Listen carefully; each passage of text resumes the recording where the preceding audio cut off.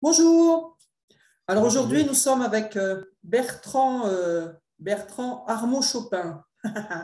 J'adore ce, pseudo.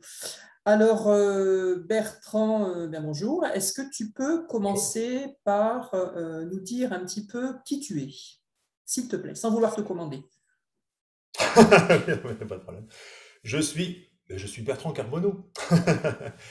Donc, euh, oui, non, je suis, enfin, alors je suis, bah, pour la, partie qui vous intéresse, parce que je suis multicarte, je fais beaucoup de choses dans ma vie.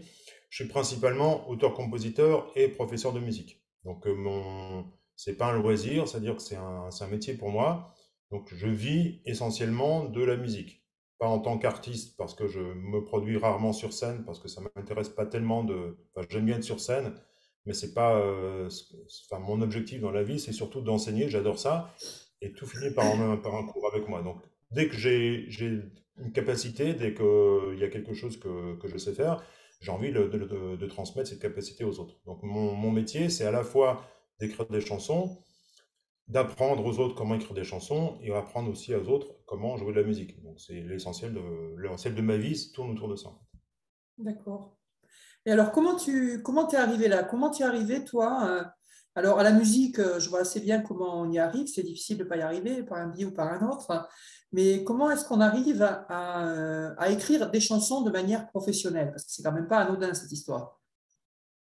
Alors déjà, euh, pour écrire des chansons de manière professionnelle, il faut déjà avoir beaucoup envie de, de, faire des chansons. En fait, moi, je considère que chaque fois qu'on veut vraiment faire quelque chose, si on dit, tiens, je veux gagner ma vie avec ça, je veux en faire mon métier, il ne faut pas se dire, tiens, il paraît qu'on peut gagner de l'argent, on peut, on peut en vivre, tiens, je vais peut-être essayer ça. Non, faut que ça doit vraiment partir d'une envie. Et euh, je ne me suis pas dit au départ, oh, je vais en faire mon métier, je vais en faire, je vais faire des chansons et je vais écrire pour des chanteurs et je vais rencontrer des grands artistes, etc. Bon, ça c'était du rêve, mais euh, je, moi ce qui me plaisait c'était écrire des chansons. Au lycée, j'avais découvert les Beatles et euh, j'ai tellement aimé cette musique, je me dis tiens, moi aussi je vais faire mes propres chansons. J'ai commencé à faire des chansons en anglais, et euh, bon, c'est pas, c'est pas des chansons extraordinaires, mais c'était bon, c'était un début, c'était quelque chose quoi. Et j'ai toujours voulu, euh, toujours voulu écrire quoi. Et donc, euh, j'ai, je me suis mis à la composition musicale il y a une vingtaine d'années, et j'ai suivi des cours euh, par correspondance de composition musicale.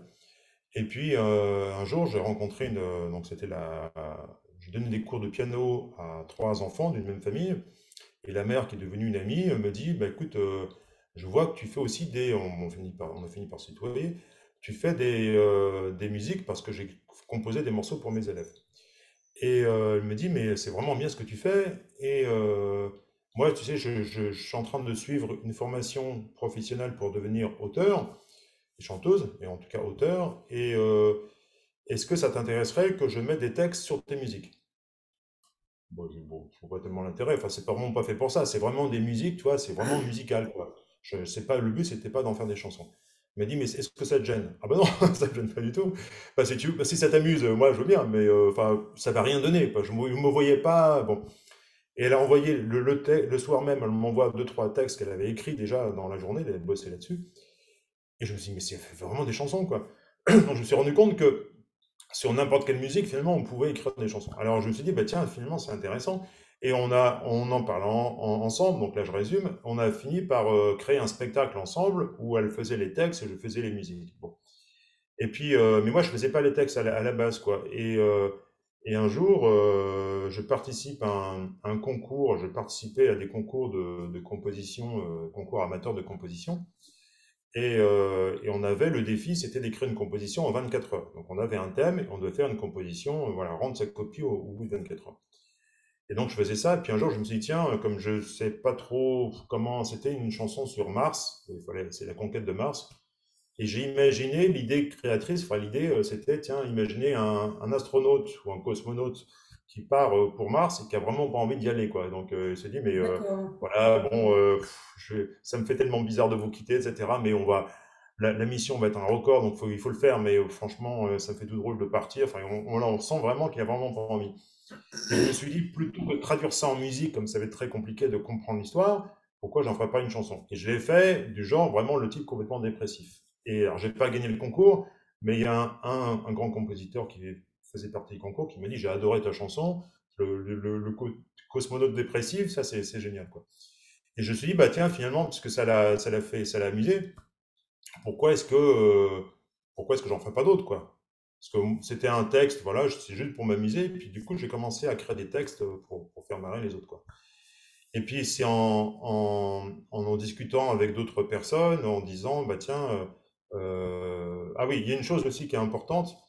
Euh, L'histoire est un peu longue, mais c'est comme ça que je suis rentré dans le milieu professionnel. Moi, je n'ai pas, voilà, pas postulé ou voilà, j'ai pas répondu à une petite annonce.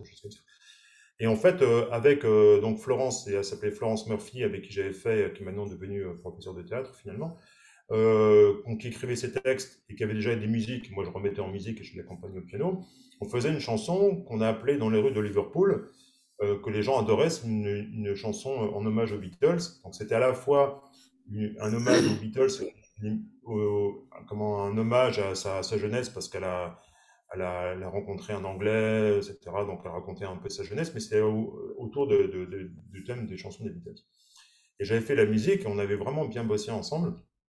Et à chaque fois qu'on faisait un spectacle, il y avait une personne au moins qui, dans le public, qui venait nous voir en disant J'ai beaucoup aimé votre reprise de Françoise Hardy. je dis alors, monsieur, je vous explique, nous ne faisons pas de reprise, nous faisons que des chansons. Oui, oui, mais je vous parle, non, mais je sais bien, mais la chanson de Françoise Hardy, mais non, parce qu'on ne faisait, on ne fais, nous ne faisons que des chansons à nous, on ne fait pas de reprise. Oui, mais la, dans les rôles Liverpool, c'est une chanson de Françoise Hardy, mais non. Et puis à force d'entendre parler de ça, j'ai dit, mais euh, un peu en plaisantant, je dis à Florence, mais pourquoi je la proposerais pas à Françoise Hardy? Elle me dit, oui, c'est ça, oui, genre, euh, Françoise Hardy, elle attend après toi. Bah, je dis, elle attend après, euh, je sais qu'elle est auteur, compositrice et interprète, mais pourquoi est-ce qu'on ne pourrait pas faire pour elle? Du coup, j'ai fait une nuit, j'ai un soir, j'ai sur Internet, j'ai trouvé, le, trouvé les coordonnées de son âge artistique, je l'ai contacté en disant, monsieur, j'ai une chanson et je lui explique l'histoire. Il me dit, bah, écoutez, envoyez-moi votre chanson, je l'ai fait écouter à Françoise et puis bon, peut-être qu'elle vous répondra. Quoi c'est comme une bouteille à la mer. Je me suis dit, alors j'en parle à Florence qui me dit, oh, t'attends pas une réponse. Je dis, non, mais je sais bien. Mais le lendemain, François Hardy me, me recontacte en me disant, euh, bah, écoutez, j'ai beaucoup aimé votre chanson. Et c'est vrai que ça ressemble pas mal à ce que j'ai fait. Maintenant, bon, moi j'ai envie de passer à autre chose. Donc vous me l'auriez proposé il y a 30 ans, je vous le reprenais aussitôt. Mais là, bon, j'ai envie de faire un peu autre chose. Quoi. Mais ce qui était intéressant, c'est que j'ai euh, établi une correspondance avec François Hardy pendant euh, presque un an par email et on a beaucoup échangé ensemble sur la création de chansons. Alors à l'époque, j'étais surtout compositeur. Et elle m'a vraiment poussé à, me dire, mais allez-y, continuez, quand vous avez de bonnes idées, etc.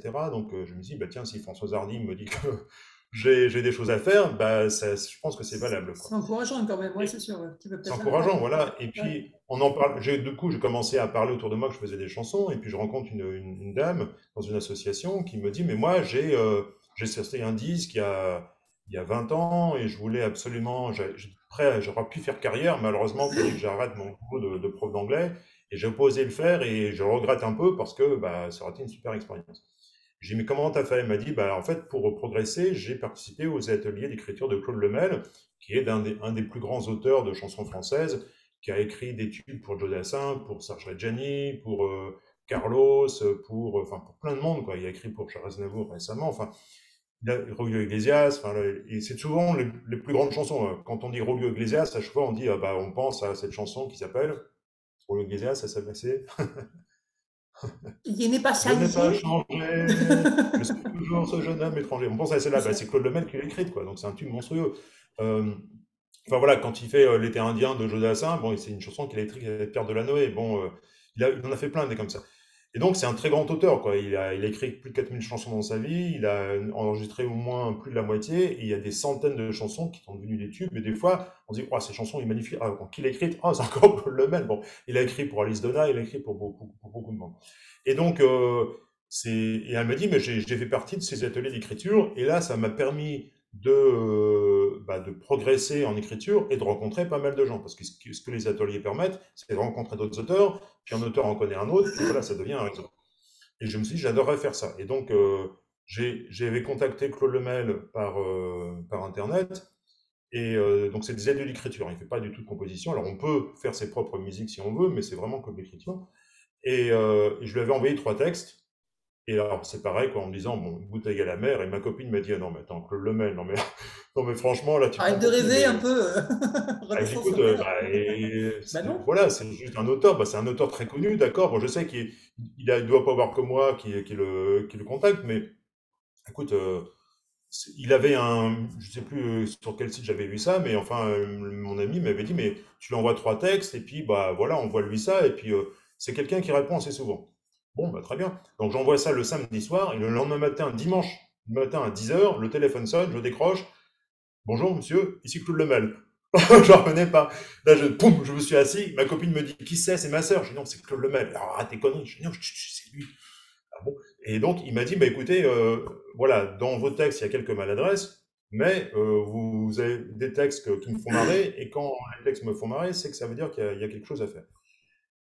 Et donc, euh, alors, ça a mis deux ans avant que je, rentre dans les ateliers, parce que la liste d'attente est assez longue.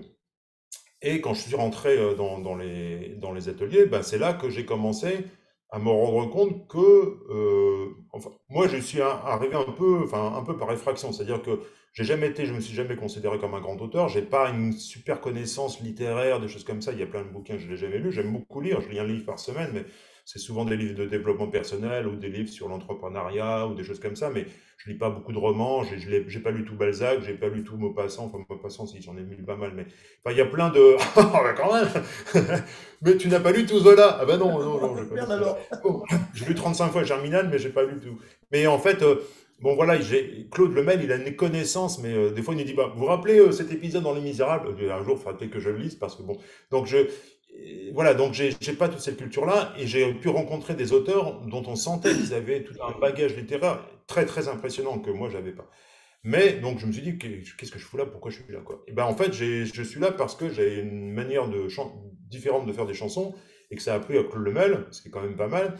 Et, euh, ça a plu à d'autres. Et puis c'est comme ça en fait en rencontrant d'autres auteurs et d'autres compositeurs que j'ai pu rencontrer d'autres artistes et puis, euh, et puis j'ai eu la chance, grâce à Claude Lemel, de participer à des séminaires, à rencontrer des, gens avec qui j'ai pu vraiment parler de leur métier, comme Yves Dutail, par exemple, euh, Anne Sylvestre, euh, comme Richard Gottener, comme j'en oublie d'autres.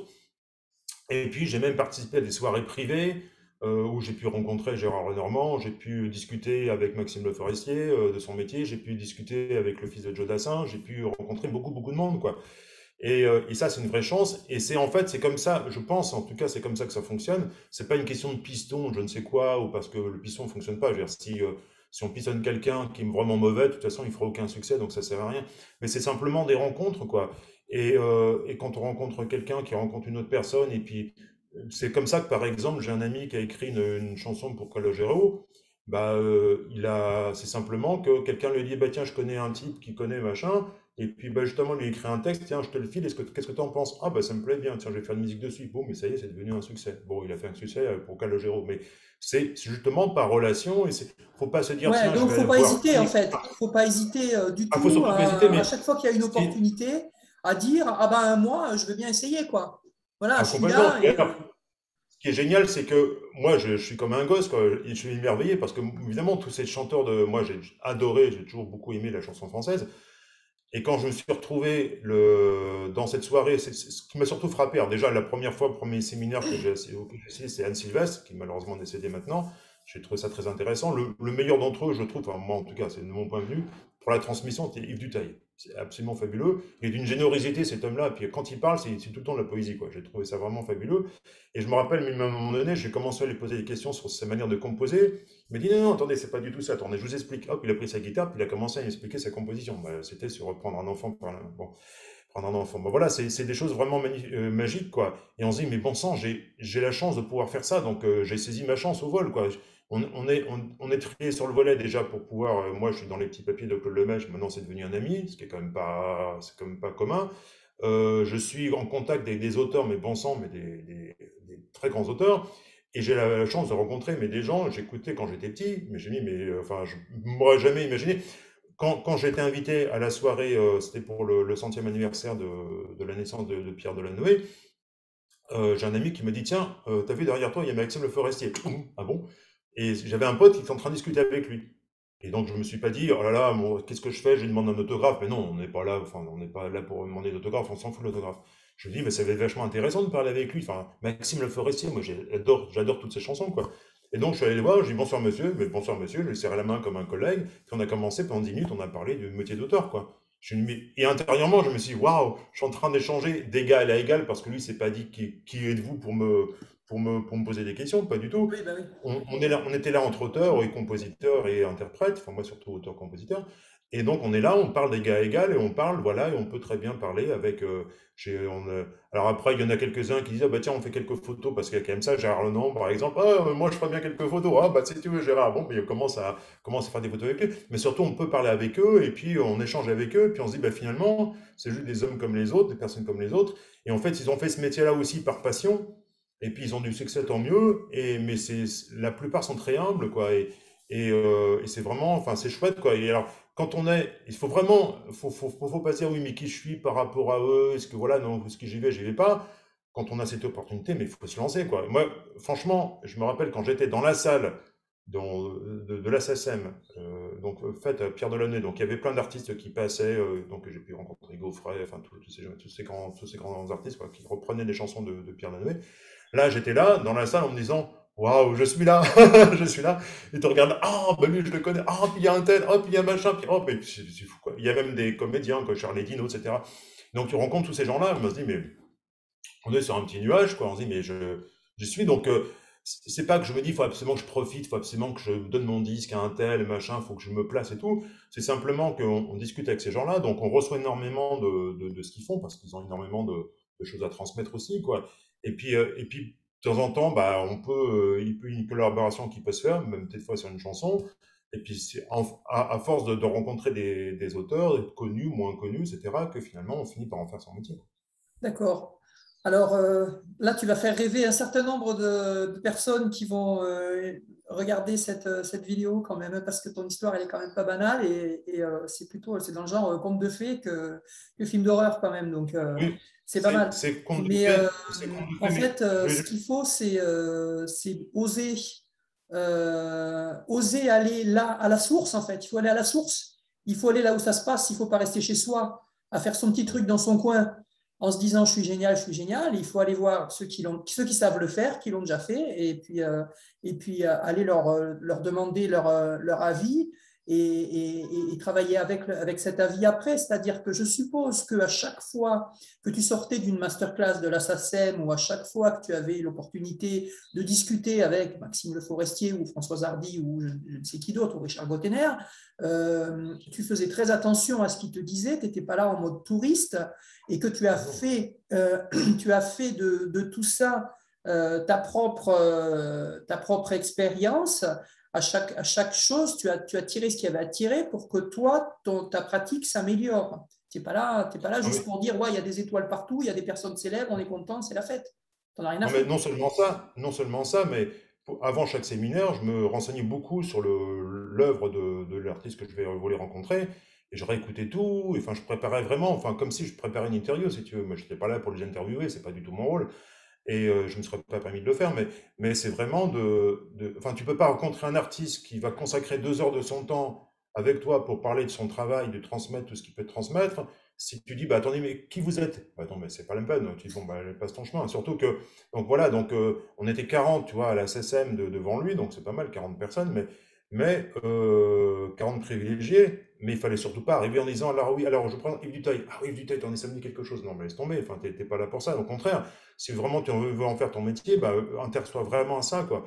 Et, euh, et moi, je sais que j'étais le premier à... Alors en plus, il y a aussi ça qu'il faut, il faut vraiment avoir en tête, c'est que si vous y allez pour, euh, pour rencontrer ces gens-là, Et après, euh, bien sûr qu'il y a toujours la timidité, la peur des le trac et tout. euh, Moi, j'étais au premier rang parce que dans ces moments-là, je me mets toujours au premier rang. Moi, je suis là pour, euh, pour profiter du, du moment, quoi. Je suis pas là pour être dans le fond. euh, éventuellement, je poserai une question. Maintenant, si j'ai fait toutes ces démarches pour rencontrer ces gens-là, même alors que je suis quelqu'un à la base assez timide et assez, euh, voilà, j'ai, pas mal de réserves. Là, je me dis, je me lance. Je, j'ai pas fait tout ça pour, pour être dans le fond de la salle et puis peut-être éventuellement poser une question à quelqu'un qui va la poser pour moi. Non, je vais Mhm. donc je me mets au premier rang, et là, je, quand Yves Duteil est, est- est- s'est assis, il dit, bon, j'attends vos questions, je me dis, waouh, deux mètres devant moi, j'ai Claude Lemel, Yves Duteil, waouh. Et alors, qui pose une question? J'ai levé la main, j'étais le premier à poser une question, il ne faut surtout pas qu'on, loupe ma question. Et la question que j'avais posée, par, je parlais Duteil parce que je pense à lui actuellement, mais la question que je lui avais posée, c'était exactement sur son travail, sur une chanson que j'avais écoutée, et par exemple, la chanson que je lui avais posée, c'était, voilà, j'ai écouté une, ch- une chanson de vous quand j'étais en maternelle, que j'avais adorée, C'était Lily et les libellules, je crois que ça s'appelait comme ça. Et euh, les libellules en vol, etc. Bon, euh, non, Lucie et les libellules, bon. Et, euh, et donc, j'ai adoré cette chanson. Et je comme, comme je savais que j'allais vous rencontrer, ben, j'ai recouté toute votre œuvre. De toute façon, c'est pas compliqué. J'ai tous les disques de, de, de, tous vos disques, je les ai chez moi. Bon, donc je les ai tout réécoutés, j'ai relu les textes, etc. pour vraiment essayer de comprendre comment, enfin, quel est votre travail. Et je me suis rendu compte, en réécoutant cette chanson, en la redécouvrant, que finalement, elle était, euh, bah, c'était pas des mots d'enfant, des choses comme ça, mais que finalement, euh, bah, je pense que si je l'avais écouté seulement en tant qu'adulte, je l'aurais apprécié. J'aimerais bien savoir comment vous faites pour que euh, vous puissiez écrire un texte qui plaise autant aux enfants et qu'en tant qu'adulte, on ne se dise pas, ouais, c'est un peu, ouais, bon, c'est vraiment pour les gosses, non, et qu'on puisse l'apprécier. Voilà, donc toi, donc j'avais fait tout le travail pour lui poser une question pertinente. Et il m'a dit, monsieur, je vais vous étonner, j'ai jamais écrit de chanson pour enfants. C'est qu'en fait, chaque fois qu'il écrit des textes, mmh après, il nous expliquait comment il écrivait ses textes pour que ça plaise à tout le monde. Mais c'est ça, en fait, il faut y aller avec déjà la connaissance. Et puis les personnes, si tu leur dis alors, vous êtes qui, puis vous pouvez me signer un autographe, ils s'en foutent, on n'est pas là pour ça la personne se dit, mais euh, pour, pour, que tu puisses profiter de, l'instant et qu'elle puisse te transmettre quelque chose, il faut que tu montres aussi que tu t'intéresses. Et je ne fais pas exprès de faire ça pour montrer que, pour faire genre, je m'intéresse, parce que vraiment, je m'intéresse, quoi. Et je suis là pour ça. Et je prends énormément de notes. Tu viens pour travailler, en fait. Tu viens pour travailler. Bien sûr. Et je prends énormément de notes et je me dis, mais bon sang, j'ai comme prof pendant deux heures, je dis Yves Duteil, j'ai pas intérêt à louper une seule, seconde de ce qu'il va me raconter, tu vois. Et, euh, et euh, Richard Gottener, pareil, quoi. On a posé beaucoup, beaucoup de questions.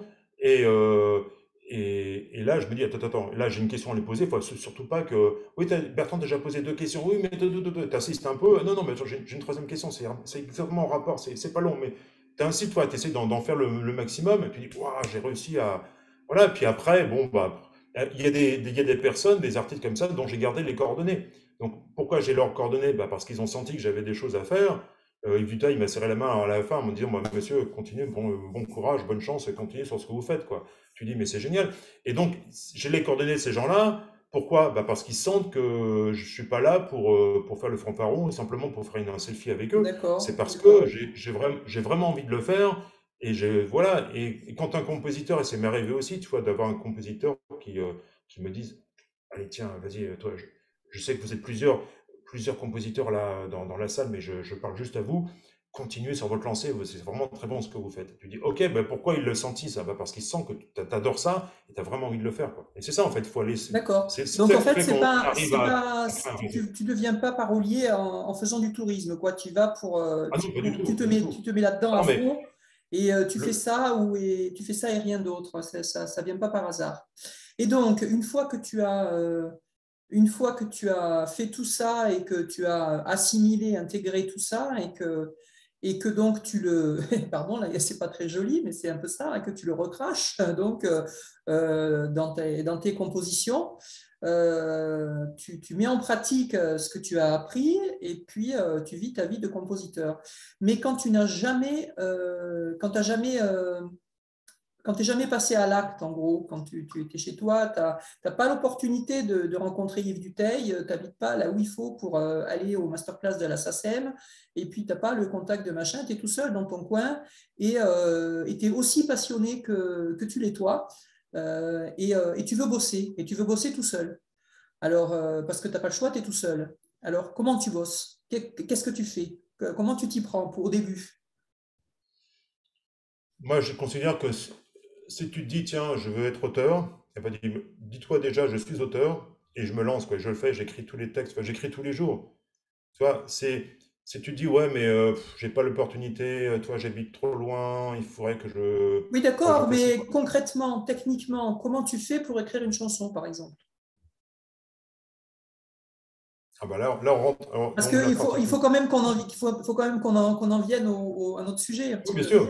Bien sûr, bien sûr, non, mais je suis d'accord. Ah, mais moi, je, je, réponds à ta question, mais si tu veux, le, la question, c'est oui, comment on fait techniquement? Bah, Déjà, la première chose, si on parle de l'écriture, bah, il faut écrire tous les jours. Quoi. La première chose à, première chose à faire, c'est d'écrire. En fait, si tu veux être auteur, bah, fais en sorte que tu sois auteur des. Voilà, ça y est, maintenant, je suis auteur. et qu'est-ce qui fait que je suis auteur? Bah, C'est que j'écris des textes. Après, qu'ils soient connus, pas connus, ça, c'est. Bah, après, c'est de la chance, hein, mais mmh. c'est les, les, opportunités, etc. Mais c'est écrire des textes, quoi. Écrire tous les jours. Et en fait, alors, moi, je, moi ce que je disais tout à l'heure, c'est que tout se transforme en cours, donc euh, il y a la possibilité, si vous voulez, de prendre des cours avec moi pour que je vous apprenne à écrire des chansons. Mais avant, avant de prendre des cours, il y a une chose qui est importante, c'est que, de toute façon, même si, euh, même sans prendre de cours, même évidemment, c'est toujours mieux de recevoir les. Bah, moi, j'ai reçu tellement de, de, tout le monde que forcément, j'ai un bon bagage maintenant, mais et j'ai pu écrire beaucoup de chansons parce que j'écris plus de 500 chansons maintenant, c'est quand même pas mal. J'en ai pas fait 4000 comme Claude Lemel, mais j'ai pas 50 ans de carrière. Mais surtout, ce qu'il faut, c'est que pour s'améliorer, pour faire de, bons textes, bah, il faut écrire tous les jours, tous les jours, tous les jours. Donc au début, ce que, moi, ce que j'ai beaucoup fait, je l'ai beaucoup fait en composition et beaucoup en écriture, de manière très concrète, de manière très pratique. On prend un texte et on essaie de s'en inspirer. On dit, bah tiens, lui, il a écrit ça comme ça, moi, je vais écrire ça sur le même sujet. Tu veux dire le texte d'une chanson qui existe déjà On prend un texte d'une chanson qu'on aime bien Oui, voilà, un texte, et tu dis, et, tu dis, bon voilà, tiens, qu'est-ce que. Donc, euh, de manière très technique, euh, je prends un texte, et puis, euh, c'est on, on, peut même prendre un exemple. Hein. C'est beaucoup plus. Sans forcément donner un cours, mais pour, pour donner le. le euh, j'ai chaussé mes lunettes parce que c'est bizarre, mais sur les, sur les partitions, ils écrivent de plus en plus petit. C'est quand même étonnant. Ah oui, non, non, c'est normal ça. Bon, voilà, j'ai devant moi la partition de l'Hirondelle du Faubourg. Bon, c'est parce qu'en ce moment, je m'intéresse aux, chansons des années 1900. Euh, alors, admettons, prenons ça. Tiens, voilà, je ferai une chanson là-dessus. À l'hôpital, c'est l'heure de la visite. Le médecin en chef passe devant les lits. Bon, et eh ben on se dit, ok, bon, et alors, ça raconte quoi? Bah, Ça raconte une visite à l'hôpital, etc. Bon, et après, je fais quoi? Et eh ben, reprendre la même structure. À l'hôpital, C'est l'heure de la visite ça commence comme ça. Plutôt que de dire l'hôpital, c'est l'heure de la visite, je sais pas, c'est de trouver autre chose qui respecte le, les vers. Donc tu peux regarder la rime.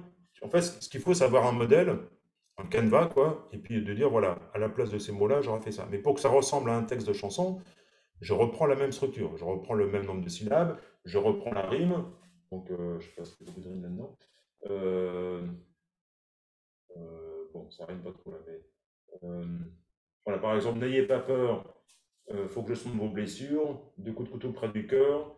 Voilà, bon, ben voilà, on a le, le, on a une rime en heure, tac. Bon, donc il y a une rime entre le premier vers et le troisième vers. Donc je vais essayer de respecter ça. Donc en fait, c'est de voir toute la structure.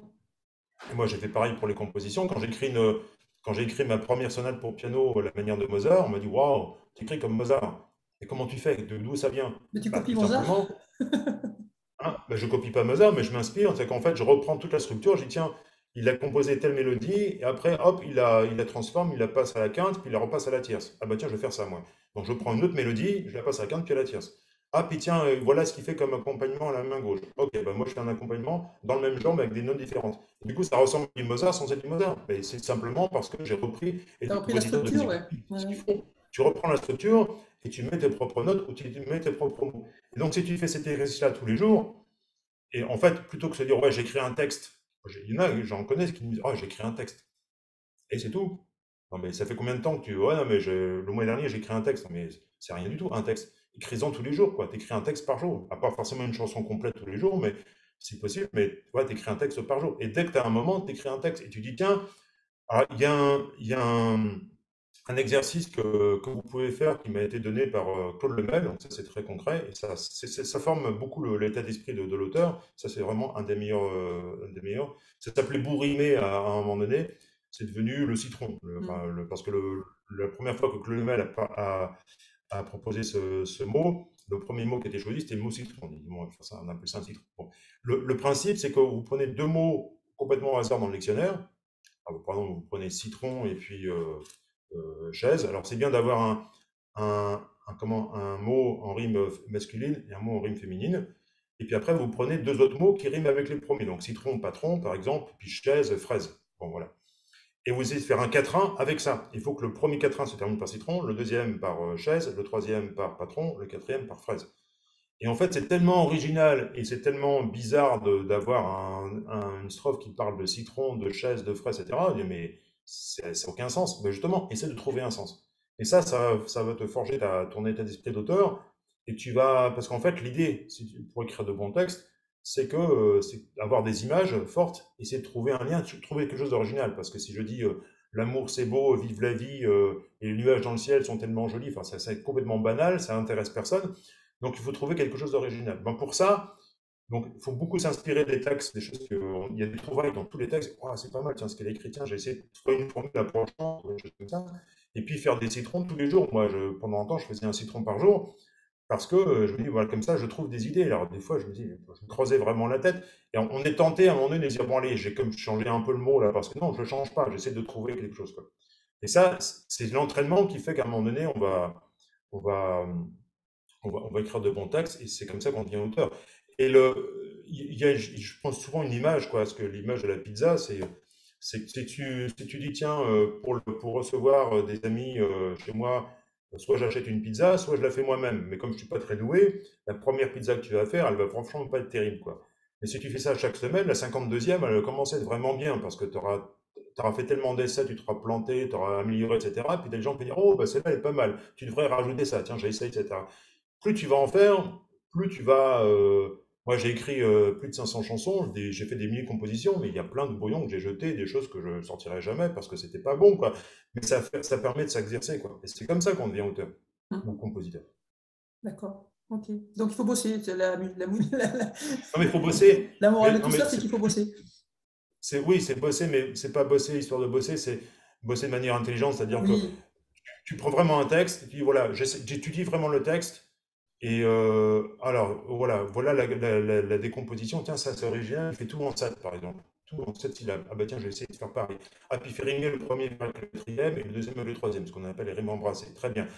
Ah bah j'essaie de faire ça moi aussi. Et soit sur le même sujet, sur le même thème, soit sur un thème différent. Et je vais essayer de trouver ça. Tiens, mon défi d'aujourd'hui, en fait, ce qui fait qu'on est. On me dit souvent que je suis quelqu'un de très créatif. Pourquoi? Bah Parce qu'en fait, je me lance des défis. Je vais donner juste un exemple je vous parle des concours de composition auxquels je, je participais pendant un temps. Et là, c'était un concours blitz, c'est-à-dire qu'on avait 6 heures seulement, non plus 24 heures, mais 6 heures, et c'était extrêmement euh, précis. C'est-à-dire qu'il fallait une ambiance avec une ambiance de, salle de, concert, avec un orchestre qui joue, et puis un, un, artiste qui arrive sur scène et qui se plante dans son solo. Et enfin voilà, c'est tout un truc. Bon, et c'était tellement précis, je me suis dit, mais voilà, il y a toute l'histoire écrite, j'ai plus qu'à faire la musique. Et c'est la, seule fois que j'ai gagné le concours, c'est qu'en fait, il y avait tellement de contraintes que j'étais obligé de, suivre. quoi. Et en fait, j'ai remarqué une chose, c'est que quand on. Le, pire, c'est me dire, vas-y Bertrand, fais-moi une super chanson, voilà la page blanche, vas-y. Plus il y a de contraintes, bien sûr, mais c'est ce qu'on fait aussi dans tous les ateliers d'écriture. Hein. plus il y a de contraintes, et mieux ça va. C'est le, le coup de l'Oulipo avec euh, toutes les contraintes mathématiques appliquées euh, à la littérature. Ben, ça fait des choses. Euh, du coup, la, créativité, elle, jaillit forcément de là, puisque c'est tellement inattendu que tu ne peux pas continuer. Ton cerveau ne continue pas à fermer toujours les mêmes boucles. Du coup, il est obligé de, il est obligé de partir ailleurs sur les côtés. Et c'est là que ça fait des choses intéressantes. Il y a, aussi une contrainte que. Exactement. Il y a aussi une contrainte que bah, je vais trouver chez Claude Lemel et qui, euh, que j'avais proposé il y a deux ans. J'avais fait un défi. Tous les jours, j'écrivais une nouvelle chanson. Je leur disais, vous m'imposez cinq mots, mais pas euh, des mots faciles à placer, quoi. Euh, soleil, nuage, pelouse, non, non, non, un truc ornithorynque, c'est des choses comme ça, quoi. Et le, alors là, faut pas placer ça dans une strophe parce que ça commence à faire beaucoup, mais de tout dans une chanson. Et se dire, mais qu'est-ce que je vais bien pouvoir raconter avec ces lacantes, ornithorynque et, et, et philatélie, je sais pas quoi. Et si on arrive à trouver euh, quelque chose d'original, bah, ça y est, de suite, ça fait quelque chose qui, frappe l'esprit. Et après, bon, il y a toute la technique d'écriture et la technique de composition derrière. Mais déjà, rien que ça, s'imposer une contrainte. Par exemple, ou même sans, sans, vouloir faire forcément un texte de chanson par jour, mais se dire, tiens, aujourd'hui, je vais faire 10 lignes et je vais placer le mot, euh, je vais placer le mot, euh, je sais pas, philatéliste et, et puis, et puis fauteuil. Voilà, je, raconte quelque chose d'important, d'intéressant là-dessus il faut que, faut que ce soit cohérent. Voilà. Donc ça, c'est ce qui fait qu'on on forge son... c'est la gymnastique, oui. C'est la gymnastique mentale. Euh, c'est un, muscle et ça se forme. La créativité, c'est un muscle, en fait. Plus on l'exerce et mieux on, et mieux on l'exerce. Normal. Et du coup, une fois que tu as un texte, euh, mais toi, tu, tu écris le texte en même temps que la musique ou tu fais en deux étapes? Alors, ça dépend. En fait, il y a des... Il y a des... Parfois, j'ai des musiques qui me viennent en tête. Alors, ça c'est pareil, c'est à force d'en faire beaucoup. Euh, là, j'étais à Nantes avec, euh, avec un, chez un ami. On a passé deux jours ensemble. Il me faisait visiter toute la Loire-Atlantique. Enfin, on a fait pas mal, de, pas mal de voyages. On faisait une visite par jour. Et j'avais une nouvelle composition en tête chaque jour. C'est-à-dire qu'en fait, chaque fois que je vois un paysage, waouh, tout de suite, j'ai une mélodie qui vient. et je me dis, waouh, super, attends, attends, attends, bouge pas, il faut que j'écrive un truc. Bah, j'écrivais ça, un petit bout de mélodie, puis après, avec mes techniques de composition, je la développe et ça devient ça devient une composition. Donc, des fois, j'ai des airs en tête, je me dis, bon, bah, soit ça reste un instrumental, soit j'aimerais bien mettre deux mots dessus. Donc, ça arrive des fois que j'ai de la musique. Et que... Mais moi, ce que je fais le plus souvent, c'est que je commence par le texte que je mets en musique. Alors, soit, en fait, ce que je fais avant, parce que vous, de 500 chansons, forcément, il y a, avant, il y a des choses que je faisais que j'ai arrêté de faire. Mm. Ce que je faisais pendant un temps, j'écrivais tout le texte, parce qu'en fait, le, c'est bien sûr qu'on peut avoir des musiques et mettre des paroles dessus, mais pour moi, le plus important, c'était d'écrire un texte. Et comme j'ai essayé de faire euh, un temps que des chansons euh, humoristiques, essayé de, faire un, texte original, drôle, etc. Bon. Et donc, je travaille beaucoup, beaucoup, beaucoup sur le texte. Et puis après, je me, je me disais, mais bon, maintenant, il faut le mettre en musique. Et je me rendais compte que souvent, le, quand la première strophe était écrite et qu'il y avait la bonne musique, le refrain était écrit, bah après, quand je passais au deuxième couplet, aïe, les, les mots n'étaient pas placés exactement pareil. Et il y avait une idée qui était quand même pas mal. Et bon, et du coup, il fallait changer un peu les notes. Et puis des fois, il fallait changer un peu le rythme. Puis après, ça, devenait compliqué. D'un couplet à l'autre, on n'avait pas exactement la même mélodie. Oh bah non, ce mot-là, tiens, je... Ah non, là, faut plutôt que je baisse la voix, mais dans le premier couplet, j'aurais... Ouais, bon. Du coup, j'avais mon texte qui était fait. Et donc, j'ai essayé de bricoler la musique par-dessus. Et je me suis rendu compte que ce n'était pas la meilleure méthode. Maintenant, ce que je fais, c'est que j'écris le, premier couplet, j'écris le refrain, je mets le premier couplet en musique, le refrain en musique, et après, je calque les couplets sur la structure, avec donc à la fois la structure du texte, mais aussi par rapport à la musique. Si la, si la mélodie monte, pas da, da, da, et que je dis euh, euh, euh, euh, vers chez toi, je descends, ça marche plus. Je suis vers chez toi, je descends. Bah non, là, ça marche pas du tout. Donc si je monte, faut que je raconte un truc qui monte, quoi. Ou, ou alors je change complètement la mélodie, mais il faut que d'un couplet à l'autre, je respecte mélodiquement que ce soit cohérent avec le texte et que je respecte aussi la structure du texte. Donc, une fois que j'ai mon canevas couplet, refrain, après, bah, j'écris d'autres couplets, d'autres refrains, parce que des fois, il y a des refrains évolutifs, et c'est comme ça que je fais ma chanson. Et du coup, ça me fait gagner beaucoup de temps, et euh, puis c'est beaucoup plus cohérent. Puis des fois, je me dis, ah, c'est dommage, j'aurais bien placé ce mot-là, mais ça colle plus du tout sur la musique. Bah tant pis, je change le mot, parce que soit la musique est vraiment très bien, et les trois premiers couplets, ça tombe parfaitement sur la musique, bah, pour le quatrième couplet, je vais pas changer la mélodie. Donc je fais, je change de mot, quoi. Donc, je m'impose ça. Et du coup, ça, ça donne aussi des, des chansons. Alors, certains font ça, et puis après, quand, quand on écoute la chanson, musicalement, tu vois, c'est pas, ouais, bon, c'est pas extraordinaire on aurait pu faire mieux, quoi. Et moi aussi, pour certaines compositions, je me dis, j'aurais pu faire mieux. Mais c'est pas grave.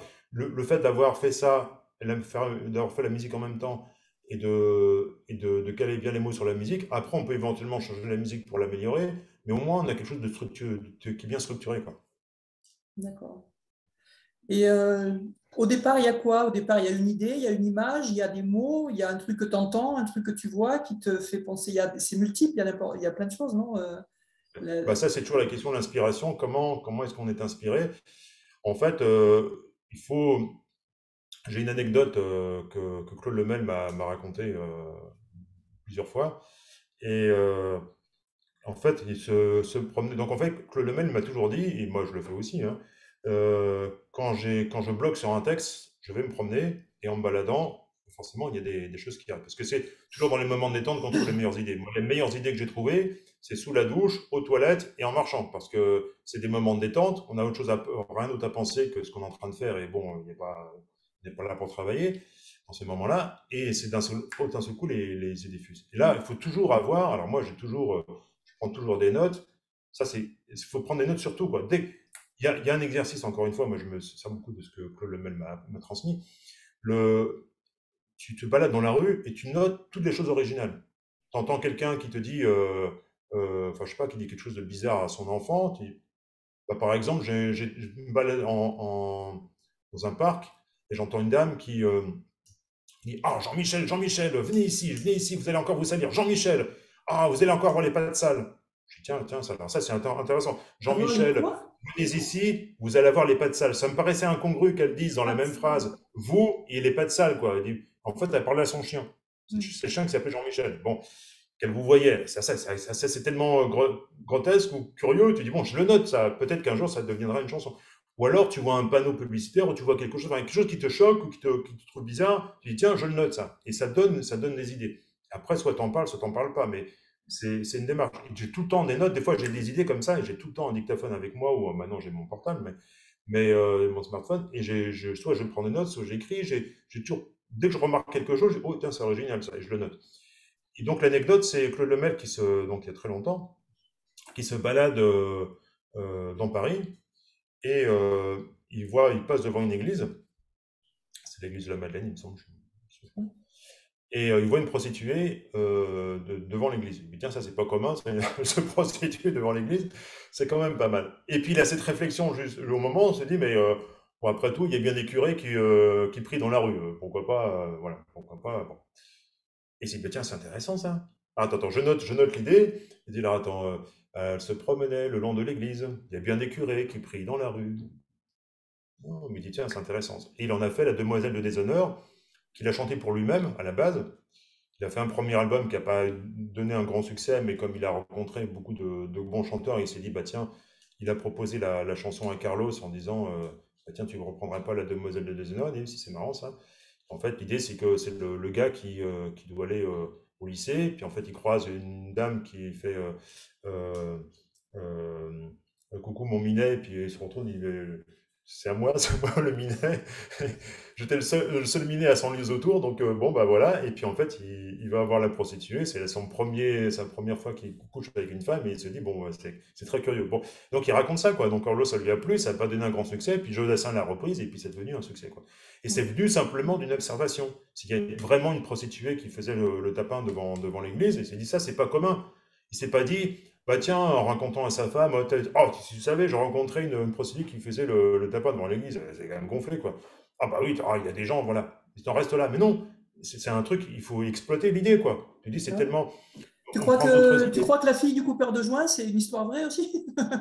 Bah voilà, non mais il y, a des choses comme ça qui te, qui te, euh, qui te, euh, qui te frappent et tu dis bon là, là, là il se passe un truc. Il y a quelque chose à en faire. Qui disait euh, si, le, le si les chauffeurs de taxi savaient euh, à quel point, je crois que c'est euh, que, que j'ai qui disait ça, si les, les, chauffeurs de taxi savaient à quel point euh, ils ont été initiateurs de, musées de chansons, je, crois que je, je, devrais payer cher en droit d'auteur, mais c'est qu'en fait, des fois, tu as des idées. Voilà, par exemple, une anecdote que je, que je connais aussi, qui a été aussi relatée par Lemel, entre Pierre Delanoë et Gilbert Bécaud.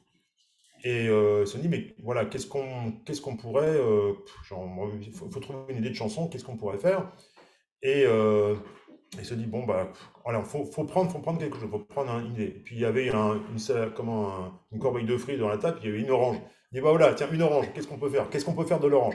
Et l'idée, c'est se dire, bah, je vais pas dire, tiens, j'aime bien les oranges. Bon, alors, on peut faire une chanson là-dessus. Après tout, il y a, il y a une chanson qui est, euh, euh, j'aime bien les bananes parce qu'il n'y a pas d'os dedans. Bon, pourquoi pas, mais c'est un truc original. Bon. Et on se dit, bah, qu'est-ce qu'on peut faire de l'orange? On peut la presser, etc. Ah, on peut la voler, tiens, c'est intéressant ça. Ah, puis devenu, on a volé l'orange du marchand. Ou par exemple, euh, ah bah tiens, je ferais bien une chanson sur la Russie, tu vois. Ah oui, la Russie, bah oui, ça tient, c'est original, on n'a pas fait trop, trop de chansons sur la Russie. Qu'est-ce que tu imagines Bah, je sais pas, la place rouge, bah oui, on va parler de la place rouge. Et euh, ah bah tiens, je vais dire, la place rouge était vide.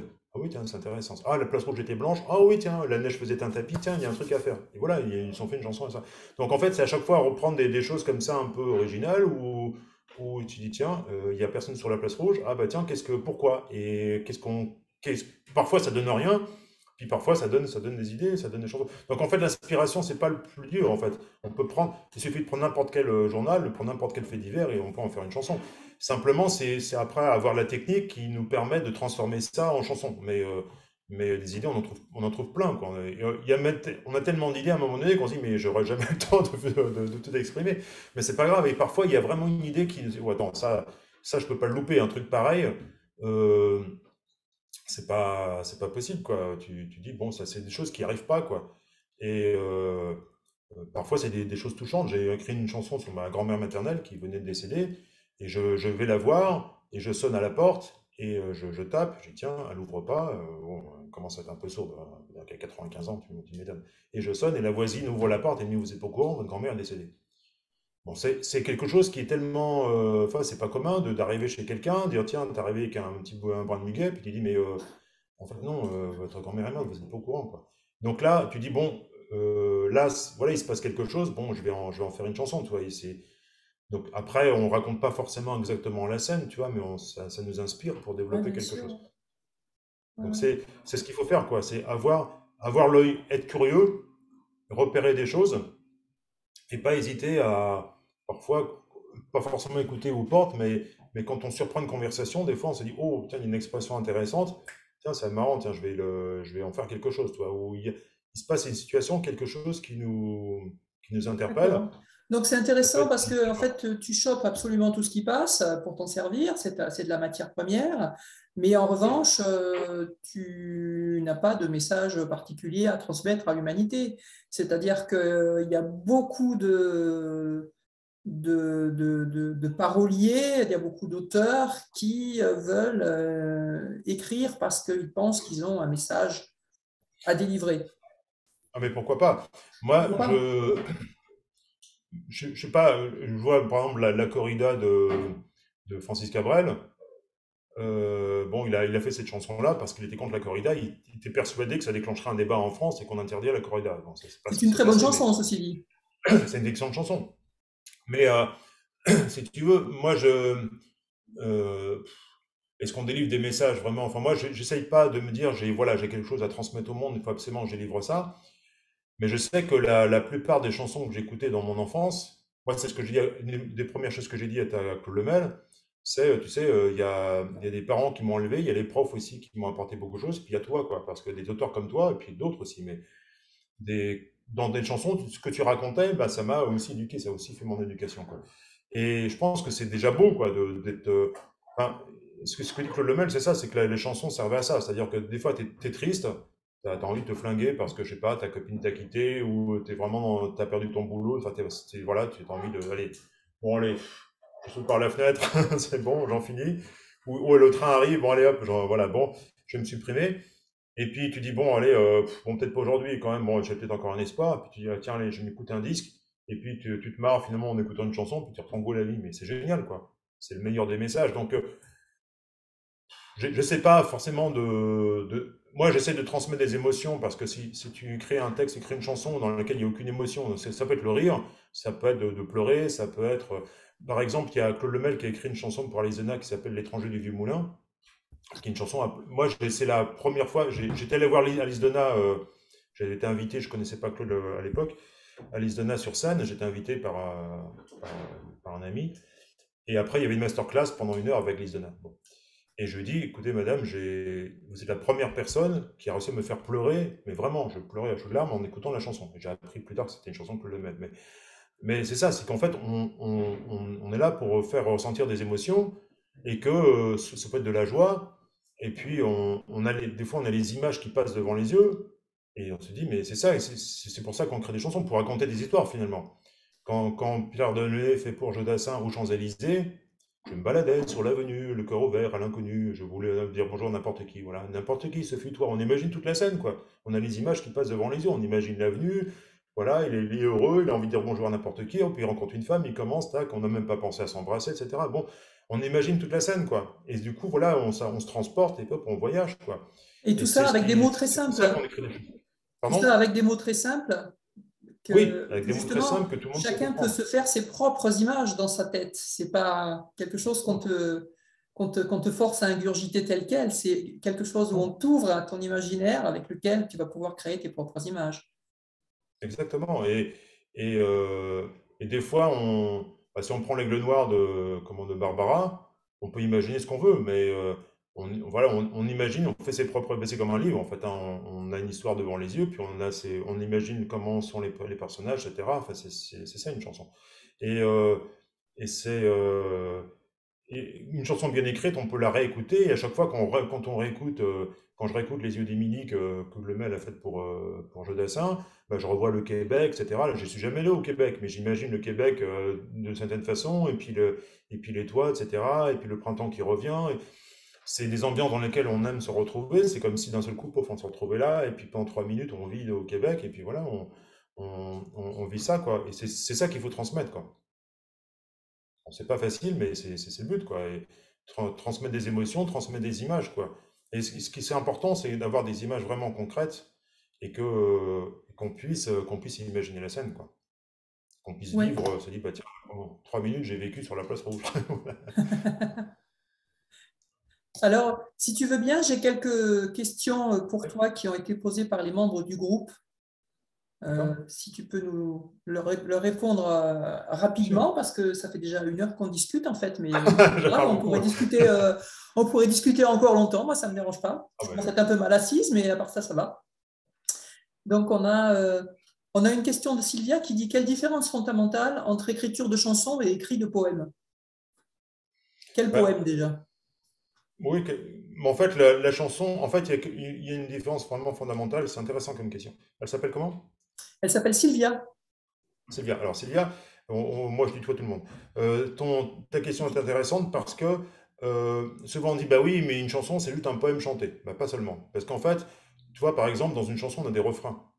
Si tu fais un couplet, un refrain dans un poème, c'est rare qu'on retrouve euh, la même strophe. Tu dis, mais attends, mais ça y est, on l'a déjà lu. Là, il s'est pas foulé l'auteur, il réécrit la même. Non, c'est juste, juste un refrain. Parfois, le refrain va évoluer. Donc, ça peut arriver dans un poème, on le fasse. Mais quand on écrit une chanson, on insiste beaucoup sur le refrain. Dans le refrain, il faut vraiment qu'on ait une image forte. Et, euh, le refrain, normalement, il est fait pour être euh, chanté en chœur par, par le public. Quoi. Donc, en tout cas, c'est ce qu'on retient le plus.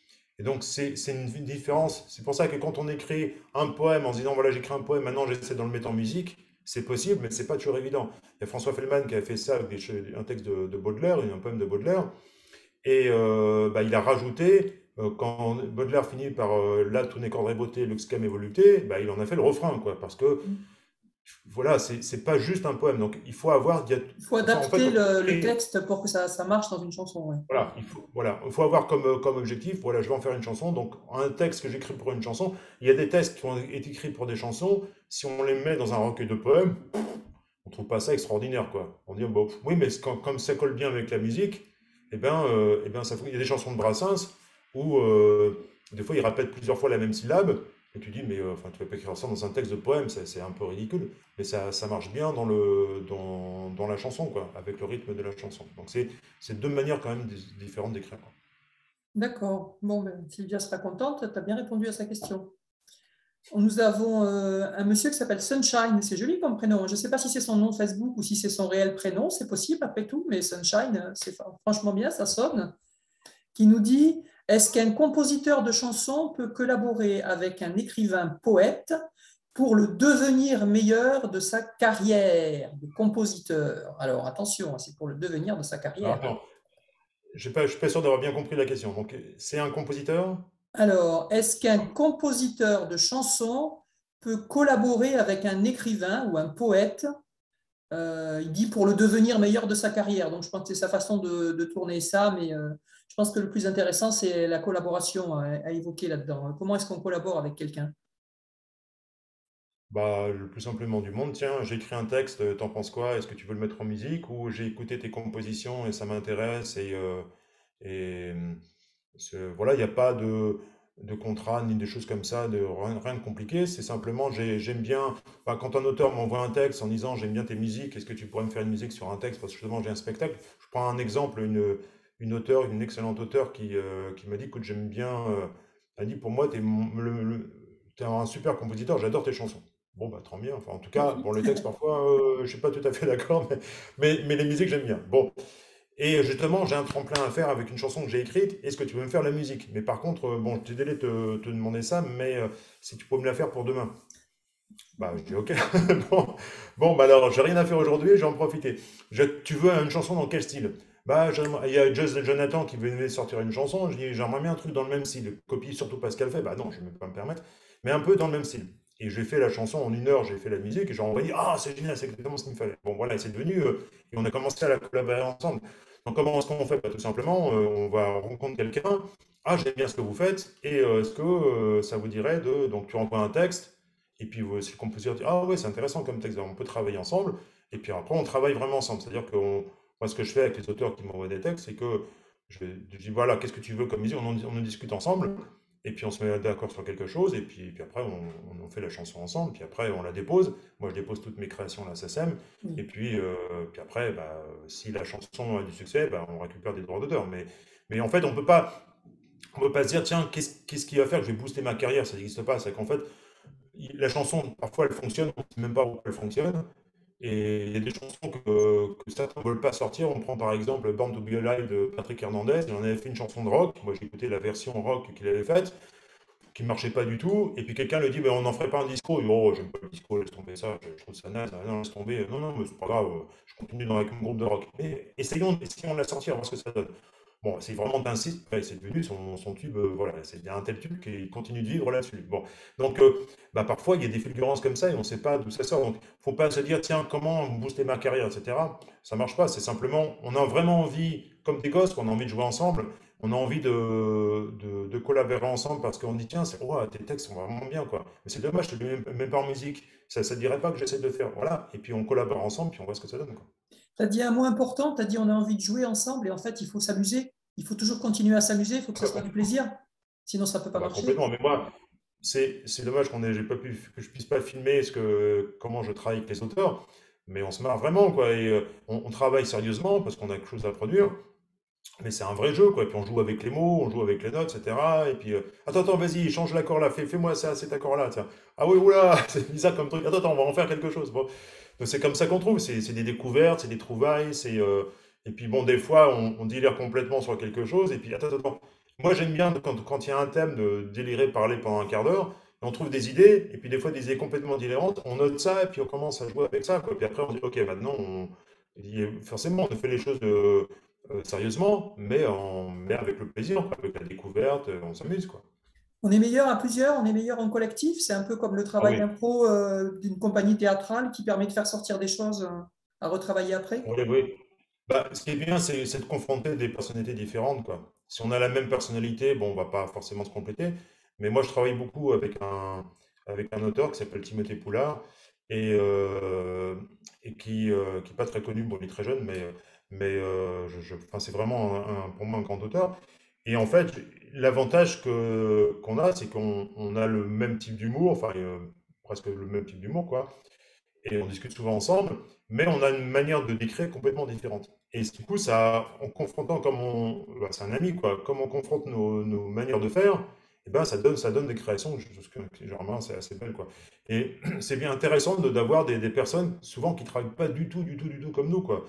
Et moi, je, par exemple, je, je prends l'exemple de Michel Driano qui est un, chanteur, enfin un auteur, compositeur, interprète, qui, je sais pas combien d'albums il a sorti, mais bon, euh, et, donc, euh, lui, ce qu'il fait, il fait de l'écriture automatique, que je ne fais pas du tout. Moi, je ne suis pas capable de faire ça. Moi, il me faut euh, une structure, je commence à trouver des idées, je trouve des phrases. Lui, tu lui donnes un texte, un, thème, hop, hop, hop, il des blatères pendant 10 minutes. Quand je dis des blatères, mais il dit des choses très intéressantes pendant 10 minutes. Il note tout, puis après, il trie. Et moi, c'est pas du tout ma manière de faire. Donc, quand j'ai commencé à écrire des chansons avec lui, j'ai écrit une chanson avec lui qui s'appelle Je suis guéri. C'était sur le, fait de Je suis guéri de de la réunionite, etc.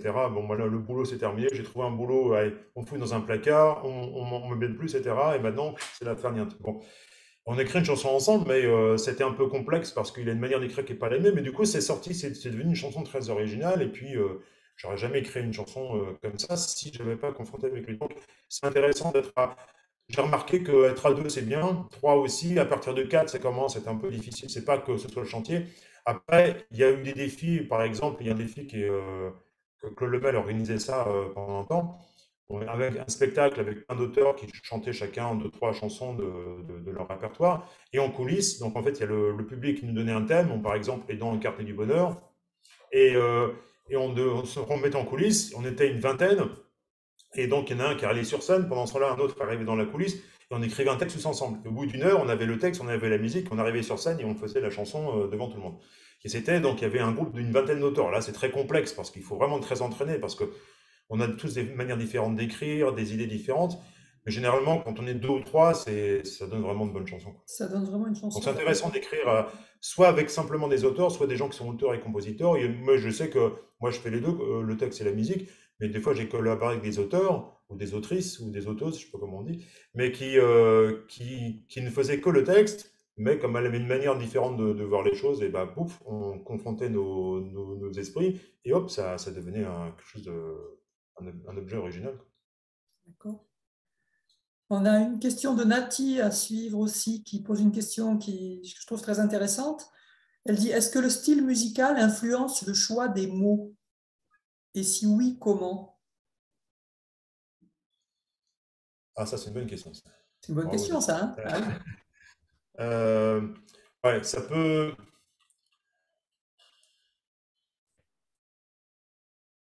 Bah, disons que quand, quand j'écris une chanson, je vois un peu l'ambiance dans laquelle euh, va être la musique. Bon.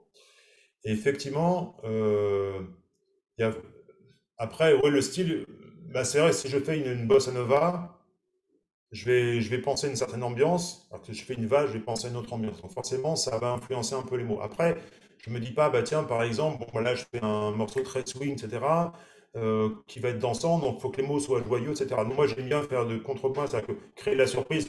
J'aime bien, pas tout le temps, mais j'aime bien de temps en temps créer, faire des, des textes très tristes ou dramatiques sur une chanson. Euh, j'ai fait une, fois une chanson, alors ça va peut-être en choquer certains, je suis désolé, mais bon. J'ai fait une chanson sur le viol. Donc euh, une, personne, c'est un malade mental qui se balade, on ne sait pas que c'est un malade mental, il se balade près d'un lac, il voit une jeune fille qui est toute nue parce qu'elle est, bah, est près d'un lac, tout ça, il fait beau, et puis bon, voilà, c'est un peu bah, comme le naturisme, quoi. Et en fait, il va la voir, il finit par la violer, et bon, il la, bon, enfin, il la tue, etc. Enfin bon, c'est un truc, un truc ignoble. Et euh, donc, c'est un fait divers, en fait, mais c'est un fait divers qui, qui est arrivé, enfin, c'est le genre, malheureusement, de fait divers qui peuvent arriver. Bon, mais je l'ai tourné en disant, et en fait, le gars, il, en fait, il est devant les gendarmes, il raconte tout ça, il dit, mais vous en faites pas, la prochaine fois, je ferai attention. Bon, et, et donc, euh, donc c'est l'humour noir. Et ou plutôt que de faire une chanson très, très triste avec euh, vraiment un truc très dramatique, non, j'ai fait euh, Merci Seigneur pour cette journée, un truc, un truc très léger, quoi. Donc, euh, parfois, je fais exprès de, mettre des mots dramatiques sur une chanson joyeuse. Et puis, à l'inverse, on peut aussi faire une chanson euh, très joyeuse, puis faire une musique beaucoup, beaucoup plus triste.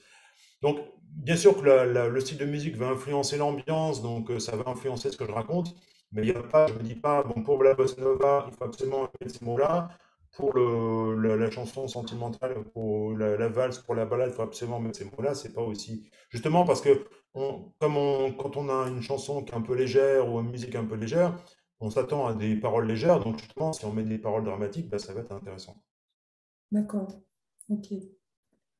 Elle demande aussi est-ce qu'il t'arrive d'écrire des chansons sur commande? Et si, si c'est le cas, d'après ce que j'ai compris, c'est le cas, comment est-ce que tu t'y prends? Tu as besoin de bah, quoi au fait, départ pour écrire une chanson sur commande? Qu'on te donne un thème et, euh, et qu'on te dise c'est pour thème, demain? oui. Pardon Et qu'on te dise pour demain. Mais là, j'avais déjà le texte. Mais en fait, euh, si tu me dis, voilà, je voudrais avoir une chanson de paroles et musique pour, euh, ouais, peu importe pour quand, et euh, bah, il, voilà, le pire, c'est de me dire, bah, tiens, vas-y, tu as une page blanche, vas-y, fais-moi un tube. Alors déjà, faire un tube, je ne sais pas faire parce que personne ne sait faire. Si on savait faire, euh, il y aurait une méthode pour ça, mais ça ne marcherait pas, parce que si tout le monde faisait la même chose, bah, ça ne serait plus des tubes, ça ne peut pas exister. Mais fais-moi une bonne chanson. Et en fait, il faut, il faut une idée. Donc, soit je me prends une idée moi-même et un truc que j'ai noté, soit tu me donnes, euh, tu dis, bon, ben voilà, je te donne un thème. Alors, le mail est très fort pour donner des thèmes, mais tu prends un thème, par exemple, tiens, il y a un loup dans mon jardin. Qu'est-ce que je raconte là-dessus? Ben voilà, là, je peux faire un texte parce que c'est très original. Ou, euh, ou euh, ce que les parents taisent les parents ne disent pas, parce que les parenthèses, les parenthèses, tiens, les parenthèses, les parenthèses, okay, on fait un texte là-dessus. Ou euh, l'union fait la force.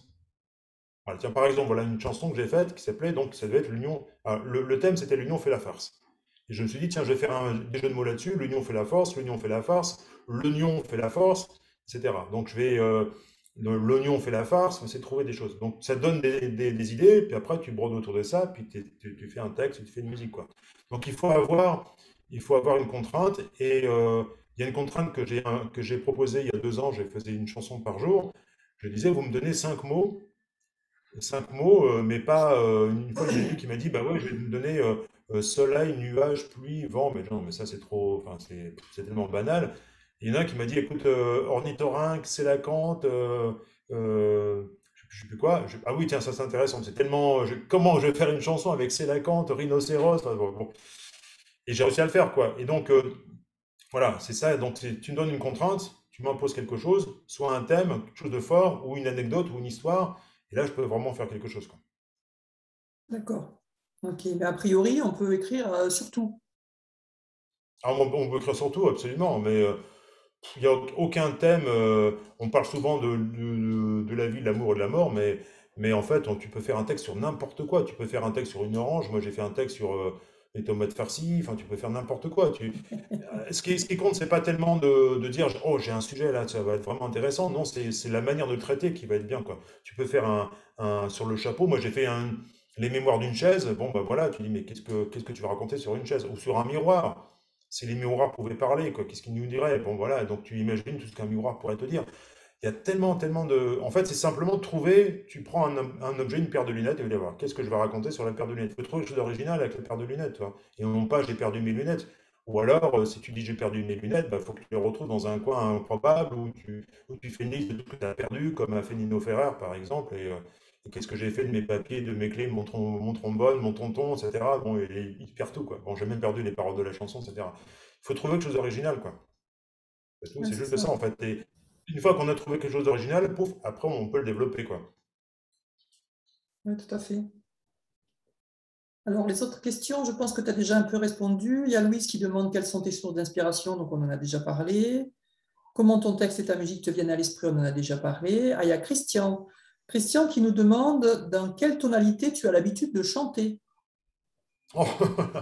Alors Christian, moi je ne suis, pas, je suis pas très bon chanteur. Je chante mes chansons pour faire des, maquettes, pour enfin, m'écouter ce que je fais, pour proposer aux autres. Maintenant, je ne considère pas comme chanteur, je considère comme auteur-compositeur. Après, euh, bon, je chante pas toujours très juste et euh, j'ai pas une super voix. Bon, comme je fais beaucoup de chansons humoristiques, je m'en fous complètement, même si je chante faux, c'est pas grave. Ça, ça va le faire quand même parce que de toute façon, tes chansons sont drôles, donc euh, c'est tout ce qui, ce qui importe. Maintenant, euh, moi, ce que j'ai fait pendant longtemps, c'est que j'écrivais des, chansons avec des accompagnements un peu dans toutes les tonalités. En fait, c'est en fait, il y a des chansons. Euh, alors, ce que je fais beaucoup quand j'écris une sonate pour piano, j'écris tout à la table et après, je recopie sur un logiciel d'édition de partition pour être sûr, pour avoir le, le, fichier son, parce que je ne me vois pas retravailler la sonate au piano que j'ai écrite, sinon je, vais passer ma vie. Mais quand je fais des chansons, généralement, je me une fois que j'ai le texte et la musique, je me mets au piano, j'essaye et je chante en même temps. Donc c'est à peu près. Euh, alors pendant un temps, je faisais ça et je faisais tout un orchestre pour accompagner mes chansons. Puis je me suis dit, finalement, je peux faire un truc beaucoup plus spontané et beaucoup plus marrant. C'est que je me suis acheté un ukulélé. Oups, pardon. Et euh, je me suis dit, tiens, comme j'étais déjà euh, un peu musicien, puisque bon, j'ai le même cas du piano, euh, un xylophone, enfin j'ai fait pas mal d'instruments dans, ma vie, je dit, bah, le ukulélé, soit pas difficile. en trois semaines, j'ai appris tout simplement à passer des accords ukulélé et ça me suffit. Donc je joue, généralement, je chante en do, en do majeur. Donc, mais je suis pas, c'est pas un conseil de chanteur, tu vois.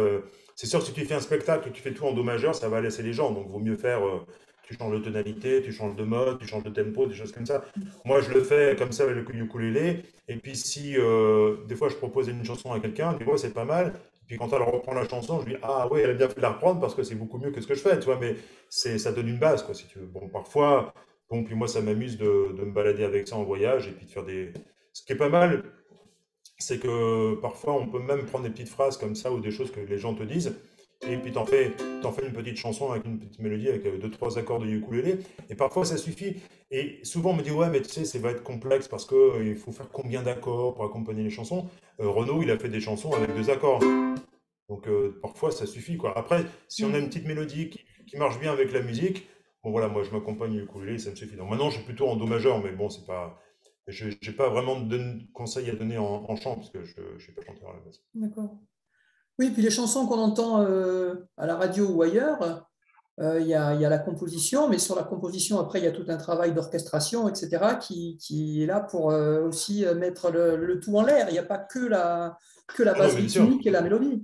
de toute façon, j'en avais parlé avec une amie qui était une, grande chanteuse de jazz, qui a vraiment du succès en, chant de jazz, qui me dit c'est simple, hein, le, le, travail parce que tu as le, tout le travail de, la composition de la chanteuse, ça c'est la moitié du travail. Le reste, la moitié, c'est euh, la qualité du son, l'ingénieur du son, euh, euh, la qualité de l'orchestration, les instrumentistes qui jouent, enfin, la manière dont c'est produit, tout ça, ça, rentre en ligne de compte. Il y a des, il y a des chansons qui ont été parfois qui, sont, qui ont été faites par certains artistes, sont des Franchement, c'est pas terrible. Hein. Tu parles d'une chanson et puis qui est refaite par un autre. Waouh, ça c'est un tube. Mais non, mais c'est la même. Ah ouais, c'est la même, mais elle sonne différemment. Voilà, c'est ça, ouais. Ça. Je me rappelle une chanson que Paul McCartney avait, avait reprise, et j'aimais beaucoup cette chanson. Et quand j'écoutais la version originale, je me dis comment il a pu être inspiré par cette chanson-là, parce que je la trouvais complètement insignifiante. Donc il y a aussi la manière d'interpréter les choses qui fait que, bon, puis effectivement, les tonalités, en fait, il n'y a pas de. dans la plupart des. Toi, moi, j'ai énormément de. J'ai 6000 partitions chez moi, ce qui me permet d'en étudier beaucoup. Et là, je prends ce recueil-là. Toi, tu as un morceau en, en Ré bémol, tu as un morceau en Do, tu as un morceau en Sol, tu as un morceau en Fa. Euh, un morceau en La majeur, un morceau en Ré majeur, en Mi bémol majeur. Enfin, il n'y a pas de. Ça dépend comment tu te sens. Puis c'est vrai que tu as des chansons, des fois, qui passent bien dans une tonalité. Puis quand tu transformes, oh bah tiens, je les change de tonalité, puis ça passe mieux, ça, ça, marche mieux. Pourquoi, je ne sais pas trop, mais ça marche mieux comme ça. en fait, tu essayes des trucs, quoi. Ouais, bah de toute façon. Jusqu'à temps que ça marche. Ouais, voilà, tu essayes un truc, puis même des fois, quand tu fais des mélodies, tu vois, oh, c'est pas terrible, parce que je. Une fois, une fois j'ai fait une chanson qui, euh, s'appelle C'est pas joué d'être c'est pas joué d'être un zèbre. Et au début, je l'avais appelé Ma vie est un ornithorynque, parce que ça faisait partie des mots qu'on m'avait imposés. Et donc, j'avais, cette chanson-là, et je chantais Ma vie est un ornithorynque, etc. Et puis, euh, je me suis dit, c'est, pas mal, mais euh, c'est tout le temps, enfin, il y a beaucoup de couplets, il y a, y je sais plus combien, il y a neuf couplets, bon, et il n'y a pas de refrain, c'est dommage, quoi. Et je me suis dit, il faudrait faire un truc dans le refrain, quoi. Puis je me suis dit, finalement, euh, ma vie est un ornithorynque parce que je fais beaucoup de choses. Je euh, quand, on me connaît, mais comment tu fais autant de choses, Comment tu arrives à faire autant de choses? Puis tu es très prolifique, tu vas sur ma chaîne YouTube. Euh, il y en a qui me disent, mais moi, moi aussi, je suis prolifique sur ma chaîne YouTube, j'ai 30 vidéos. mais moi, j'en ai 1200. Hein. ah oui, mais tu fais ça depuis longtemps Bah ouais, depuis, depuis 8 ans. À quoi 1200 millions en 8 ans? Ah, ça fait pas mal quand même. Ah oui, mais tu fais des chansons, t'en as fait combien? 10, 20 Non, j'en ai fait 500. Ah bon? Ah, Donc voilà, donc quelqu'un de très prolifique. Bon. Et donc je me suis dit, bah finalement, euh, et je me suis intéressé à ma manière de penser, et euh, j'ai euh, connu l'existence des zèbres. Donc les zèbres, c'est des, gens qui, qui s'intéressent à plein de choses, qui vont à fond dans plein de choses et qui sont capables d'aller tous azimuts et de réussir dans, dans tout ce qu'ils font. Bon. Et je me suis dit, bah tiens, c'est un, peu, c'est un peu ce que je raconte dans la chanson. Et plutôt, j'ai dit, bah, ce serait un pas mal que plutôt que je dise que ma vie est un ornithorynque, je dise, euh, bah, en fait, je suis un zèbre, quoi. Puis bon, se dire, ouais, je suis super, je suis un zèbre, je suis intelligent, etc. C'est pas terrible comme chanson. Au contraire, c'est, c'est pas, c'est pas facile parce que, bon, tu vois, euh, il y a quand même des côtés sombres, tout ça. Donc, je dis, tiens, je vais faire un refrain là-dessus. Du coup, j'ai, refait le refrain après, alors j'avais déjà diffusé ma chanson avec les couplets je l'ai refaite avec des refrains. Puis j'ai un peu changé les paroles pour que ça colle. Au... Et du coup, c'est devenu, c'est vraiment pas jamais d'être un zèbre. Et je l'ai envoyé à Claude Lemel qui m'a dit Ouais, super chanson, celle-là, il faut les garder. Bon. Donc, c'est, un travail de chercheur, en fait. Le... Même, tu vois, moi, je donne des cours pour apprendre à créer des chansons. Mais il n'y a pas un truc, voilà, tu fais ça, tu suis ça, tu suis tout le canevas, ça y est, maintenant ça fait un tube. Non, je te donne toute la démarche. Et après, bah, après c'est à toi de chercher, quoi. Et, et souvent, tu as des des chansons, tu dis, tiens, mais il y a juste un accord qui change ou quelque chose, ou un mot un peu, tu vois, une, pas, une manière de parler, une manière de chanter, qui fait que tout de suite, ça, ça attire le... Ou par exemple, il y a une chanson que j'avais faite euh, pour me marrer euh, contre, contre la politique de François Hollande. Enfin, je ne suis pas là pour faire de la politique, mais bon, euh, ça m'avait... Il y avait des, enfin, il y a des trucs qui me gênaient à l'époque. Et, et la chanson s'appelle Entre République et Palais Royal. Donc le refrain disait Entre République et Palais Royal, euh, dans une position plutôt bancale, notre président n'est pas si normal. Il se vantait toujours d'être un président normal, non, il n'est pas si normal que ça, le gars. Bon. Et en fait, comme je voulais que, comme il y avait le mot bancal dans une position plutôt bancale, je me dit, si je le fais comme ça, dans une position plutôt bancale, ben non, ça va pas du tout, ça marche pas, parce que c'est la, musique n'est pas bancale. Donc j'ai fait en sorte que la musique soit bancale à ce moment-là. Donc je suis en 4 temps, puis je passe en 3 temps, puis je reviens en 4.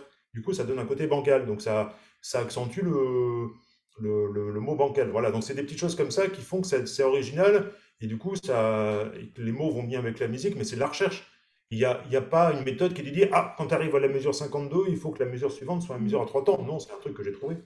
Non, mais c'est important ce que fait, c'est l'adéquation du fond et de la forme, c'est-à-dire que tu ne peux pas. Euh, euh, tu peux pas faire, si facile tu peux, puisque tu peux effectivement faire une, chanson joyeuse avec une musique euh, euh, tragique, mais, euh, mais à ce moment-là, il faudrait que ça soit volontaire. Mais il faut toujours, c'est parce que tu poursuis un, but euh, autre que celui de, de, faire pleurer. Mais en fait, il faut, il faut toujours prendre en compte les deux. Et il, y a le, y a le support chanson et puis il y a le, y a le, produit fini qui doivent, en fait, à un moment donné, se rencontrer et qui doivent aller ensemble. Sinon, le truc, il ne tient, pas la, tient pas la route. Quoi. Et il y a une, bah, un test qu'avait fait l'auteur dont je parle tout à l'heure, qui s'appelle Jeanne Lair, et qui, euh, qui m'avait demandé la chanson pour le lendemain. Et euh, elle a fait une chanson sur la butte Montmartre. Il m'a dit J'aimerais bien, il y a, on m'a déjà fait une mélodie là-dessus, mais je ne trouve pas terrible. Bon. Et euh, j'ai refait la musique, et elle a fait écouter à Claude Lebel, qui lui a dit bah, le, le compositeur était bien choisi, il a fait de manière intelligente. Pourquoi? Bah, c'était tout simple en fait, hein, je n'avais pas fait un truc extraordinaire.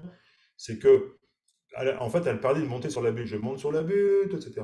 Et le mec avait écrit euh, Je monte sur la butte. Absurde, je monte sur la butte et ta voix descend. Ah tu l'imagines pas, non Au contraire, j'avais fait une chanson, j'ai dit Attends, tu peux chanter, euh, Jeanne En fait, il montait à reculant, c'est pour ça. Il montait oui, à reculant. Monte sur la butte, je la vois, je n'ose pas monter. Bon.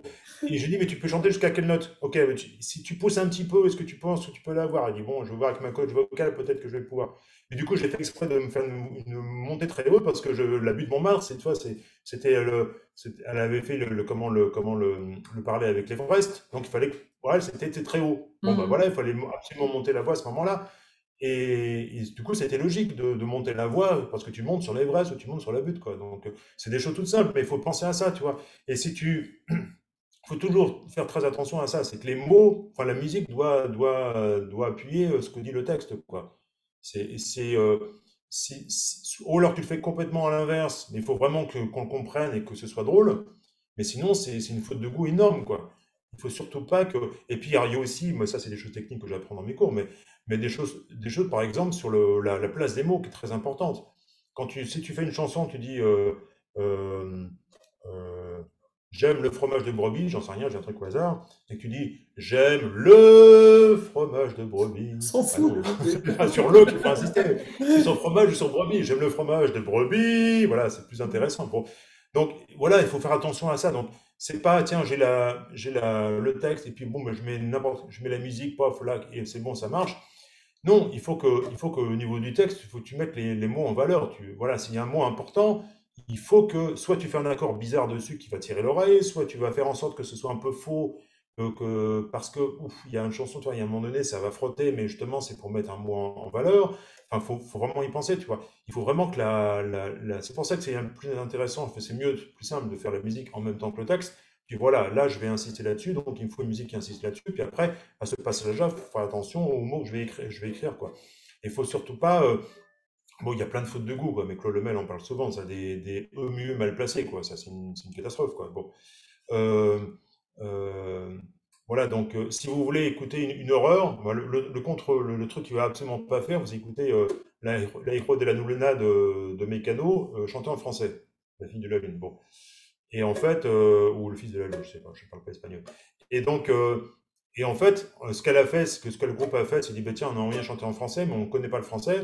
Elle a donné le texte à un traducteur qui, a traduit mot à mot en français, mais qui n'a pas, euh, pas de compétences de. Le, français, le texte en français est bien écrit, mais posé sur la musique, ça va plus du tout. Donc elle fait euh, sur la lune, enfin, donc elle insiste vraiment, ça, ça, ça, fait pas naturel du tout, quoi. Donc ça marche pas. Donc euh, il faut au contraire insister sur les, voilà, il faut faire très attention à ça. Il faut qu'il y ait une, une équation entre les mots, la musique et que si on fait, faut, faut pas faire les choses gratuitement, faut pas faire de la rime pour faire de la rime. Bon, il me faut une rime en une. Bon, allez, une plume, je sais pas quoi. Bon, allez, il faut un truc. Un truc au hasard. Et comme ça, au moins, je... il y a une chanson comme ça. Euh, je sais plus quel est le titre de la chanson, mais c'est euh, euh, le. On, sentait bien que c'était un verre pour la rime. C'était la, vie était drôle, comme si j'avais un un oiseau sur mon épaule, enfin un truc complètement absurde. je me dis, bon, on sent, on sent que c'est le gars, il dit, bon, bah, il faut trouver un truc, allez hop, on met ça, bon, ça va passer. Ben non, ça passe pas parce que ça veut rien dire, quoi. Et c'est ridicule. Non, il faut jamais, il faut jamais, il faut tout le temps. C'est un gros travail, évidemment, mais c'est passionnant, c'est de trouver les bons mots. Et moi, je sais qu'Yves Dutail, par exemple, m'avait dit, il m'avait raconté qu'un jour, il avait fait une chanson, et la, chanson était bien, il l'avait chanté à sa femme, qui dit, bah, franchement, la chanson est bonne, quoi. Là, c'est bon, là, tu peux la sortir. Mais il y a juste un, ah, il y a un mot qui me gêne, tu vois, je, c'est pas assez fort. La façon dont toi, je, le, je le dis sur, sur, cette, sur cet accord-là, toi, sur ces notes-là, ah, ça, ça, je pense que je peux trouver mieux. Enfin bon, on peut toujours trouver mieux, mais enfin, ta chanson est superbe quand même. Là, n'exagère pas quand. Mais quand même, il est retourné dans son bureau, il a travaillé toute la journée, et à la fin de la journée, ça y est, j'ai le mot, et il a, il a sorti, et ça, et ça, et quand elle a fait à sa fin, il dit, oh oui, t'as bien fait de changer ce mot-là, parce que c'est beaucoup mieux. Il a passé la journée complète à trouver le mot juste, quoi. Donc, euh, Parfois, il faut en passer par là et se dire, OK, bon, là, j'ai un produit, il n'est pas tout à fait fini, quoi. Puis, euh, ah ouais, mais ça, c'est pas, c'est pas très bien dit. Il faut jamais se dire, ouais, bon, allez, bon, ça va passer. Non, non, ça passera pas, quoi. Il y a toujours des gens qui vont dire, ah, ah, dommage, tu vois, parce que la chanson était bien, mais hmm, juste ce passage-là. Je vais juste donner un exemple. Euh, je faisais une composition, donc instrumentale, et euh, une chanson, une composition assez longue, euh, d'inspiration classique. il y avait une note, n'étais pas sûr de la note. Quoi. J'ai, bon, je la laisse, je la change, je l'enlève, je la remets, je change un peu cette note-là, je ne sais pas trop. Bon. Et je dis, oh, allez, je la laisse, c'est juste une note, puis bon, le morceau est assez rapide, personne ne va s'en rendre compte, c'est bon. Quoi. Ah, il faut que j'arrête d'être aussi perfectionniste, c'est bon. Quoi. La, la, composition est bien quand même. Je la fais écouter à ma copine qui écoute la, la plutôt dit Ah, vraiment, t'as vachement progressé en composition, là, c'est bien. Il y a juste une note qui m'a gêné, c'est exactement celle-là. Donc, il ne faut rien laisser passer au hasard. On dit, mais si vraiment, ah, je ressens qu'il y a un truc qui ne va pas, ben, les autres vont le ressentir aussi, bien sûr. Voilà, les gens vont le ressentir. Ce serait dommage de gâcher une chanson pour ça, de faire une faute de français ou de, de faire une faute d'accord ou de faire une, voilà, une faute de goût quelque part. Ah, c'est dommage. La chanson est bien, il y a juste ça qui. Du coup, c'est gênant, quoi. Du coup, en fait, quand on, ça, c'est comme, euh, comme les gens qui écrivent des chansons avec des mots compliqués, quoi. Et des fois, je, connais des artistes, ils sont sur scène, et alors voilà, je vais faire une chanson de marin. Alors attendez, alors le tirando, ça, ça, veut dire ça, le tyrandaire, c'est ça. Et je parle aussi du grand phoque, alors le grand phoque, c'est ça. Il explique tout à son chanson pour qu'on comprenne son texte. Mais au moment où il fait son, sa chanson, on ne comprend plus rien parce qu'on oublie les définitions. enfin, c'est difficile de retenir les choses comme ça. Ou alors, quelqu'un qui va donner un mot dont tu n'as pas l'explication, tiens. Ou alors une faute, une faute, tu dis, tiens, c'est bizarre ça. Et en fait, on est tellement. Euh, on va comprendre autre chose, en fait. Non seulement on risque de comprendre, des fois on va rien comprendre, on dit tiens, de quoi il parle? Du coup, on est concentré là-dessus, puis on n'écoute plus le reste de la chanson. Donc il faut qu'au contraire, il faut faire des choses avec. En fait, la difficulté, mais c'est ça l'intérêt, c'est de dire des mots simples, enfin, d'écrire des images intéressantes avec des mots de tous les jours, en. C'est ça. Ouais, ouais, tout à fait, on est d'accord. Ok, ben, tu nous chantes une chanson? Pour finir Ça fait ça fait une heure et demie que qu'on discute parce qu'on ne peut pas trop user le. Sinon les gens n'iront pas jusqu'à la fin de la vidéo. quart d'heure. Donc euh, ouais, c'est ça, ça, passe très vite. Moi aussi, hein, je continue bien, mais fais-nous une petite chanson. je, vais donc massacrer, je vais donc massacrer une de mes chansons. Ça marche. Bon, alors, je... alors cette chanson-là, ça s'appelle La rue de Moscou. C'est une, chanson, une, une, rue qui habite à Paris, qui habite à Paris. C'est une rue qui, qui, existe à Paris, dans le 8e arrondissement. Et j'ai voulu en faire, euh, je raconte juste ça, mais... Euh, ah, tu vois, tu es dans le cadre aussi de nous expliquer ce que tu vas chanter, là Voilà, non, non, mais pas du tout pour la signification, surtout pas, parce que bon, il n'y a quand même pas besoin de, sortir d'une grande école pour comprendre ce que je vais raconter. Mais c'est juste pour dire, pour tous ceux qui, qui te suivent euh, et qui sont auteurs et compositeurs et qui veulent vraiment faire des chansons, je suis parti sur une idée, j'ai écouté une, chanson que Michel Leb avait faite qui s'appelait Il y a du jazz dans le bar tabac d'en bas ». Et en fait, il dit il y a du swing, et puis répète il y a du swing dans le jazz, dans le bar, dans le il y a du blues, il y a du blues, il y a du blues dans le jazz, dans le swing, etc. Bon, c'est amusant cette chanson à tiroir comme ça. Le problème, c'est qu'il y a du blues dans le jazz, dans le swing, dans le funk, dans le rock, ça ne veut pas dire grand-chose. Je vous dis, il y a, je pense qu'il y a moyen de faire mieux. Car elle me plaisait beaucoup, j'ai loué un studio pour y faire mes photos, car elle me plaisait beaucoup la rue de Moscou. Il ne valait pas un clou, mais pour y poser ses fesses, il avait ses quartiers de noblesse. Il ne valait pas un clou, le banc de la rue de Moscou. Il s'est écroulé d'un coup, dès la première gorgée de sa mixture orangée. Il s'est écroulé d'un coup, l'inconnu du banc de la rue de Moscou. Elle avait une drôle de goût, un mélange de comté et de vin frelaté. Elle avait un drôle de goût, la bouteille de l'inconnu du banc de la rue de Moscou. Il avait préparé son coup, une seringue dans le bouchon pour distiller le poison. Il avait préparé son coup, le vendeur de la bouteille de l'inconnu du banc de la rue de Moscou. Elle est petite et pleine de trous, courant d'air à gogo. C'est bien fait, pauvre idiot. Elle est petite et pleine de trous, la cellule du vendeur de la bouteille de l'inconnu du banc de la rue de Moscou. Il est complètement fou, il viole les prisonniers avant de les dépecer. Il est complètement fou, le geôlier de la cellule du vendeur de la bouteille de l'inconnu du banc de la rue de Moscou. Elle ne tient vraiment pas debout. Elle est drôle, ça rime et c'est tout. C'est la mienne et je m'en fous. Elle ne tient vraiment pas debout. la chanson de geôlier, de, la chanson du geôlier, du vendeur de la bouteille, de l'inconnu, du banc de la rue de Moscou.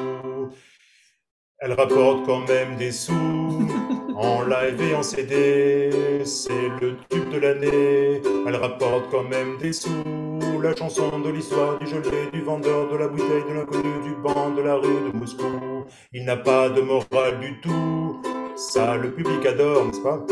Il en demande encore, il n'a pas de morale du tout. Le texte de la chanson de l'histoire du geôlier, de la cellule, du vendeur de la bouteille, de l'inconnu, du banc de la rue de Moscou. Il était complètement sous, c'est quand il est vaseux qu'il écrit encore le mieux. Il était complètement sous l'auteur du texte de la chanson de l'histoire du geôlier, de la vendeur de la bouteille, de l'inconnu, du banc de la rue de Moscou. Par contre, elle n'en peut plus de subir un poivreau et de ses biscottos. Par contre, elle n'en peut plus. La femme de l'auteur du texte de la chanson de l'histoire du geôlier, de la cellule du vendeur de la bouteille, de l'inconnu, du vent de la rue de Moscou. Il va creuser un grand trou pour y jeter dedans le mari trop gênant. Il va creuser un grand trou, creuser un grand trou, l'amant de la femme de l'auteur du texte de la chanson de l'histoire du geôlier, de la cellule, du vendeur de la bouteille, de l'inconnu, du banc de la rue de Moscou.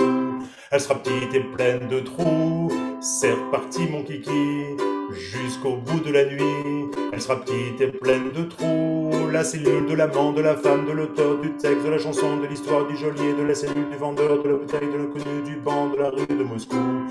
Bon, allez, c'est tout.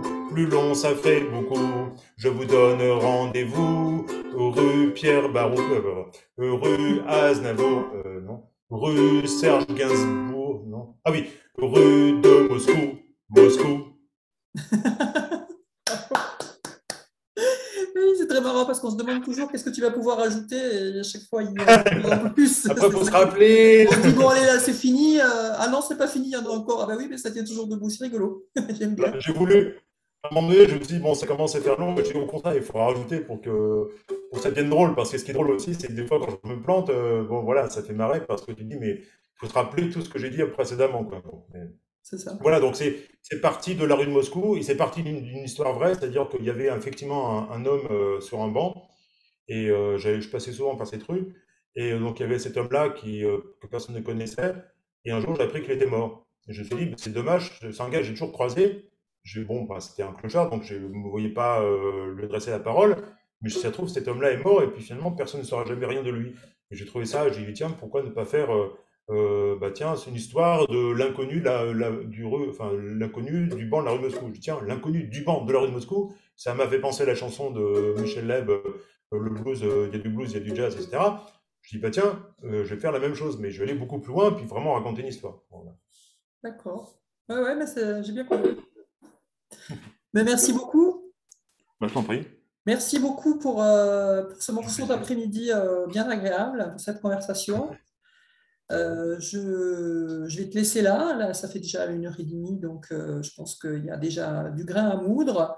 Et puis, ben, si jamais euh, il y a d'autres questions qui, qui arrivent après, ben, d'une part, tant pis pour eux.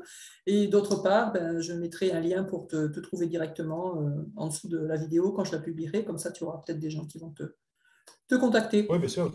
Tu nous redis, tu nous redis rapidement que, que ton- tu, tu fais des stages, euh, Voilà. tu organises des stages pour apprendre à composer une chanson, mais c'est des stages Alors, intensifs, c'est des stages pour les paroliers euh, destinés aux gens qui veulent vraiment se lancer là-dedans.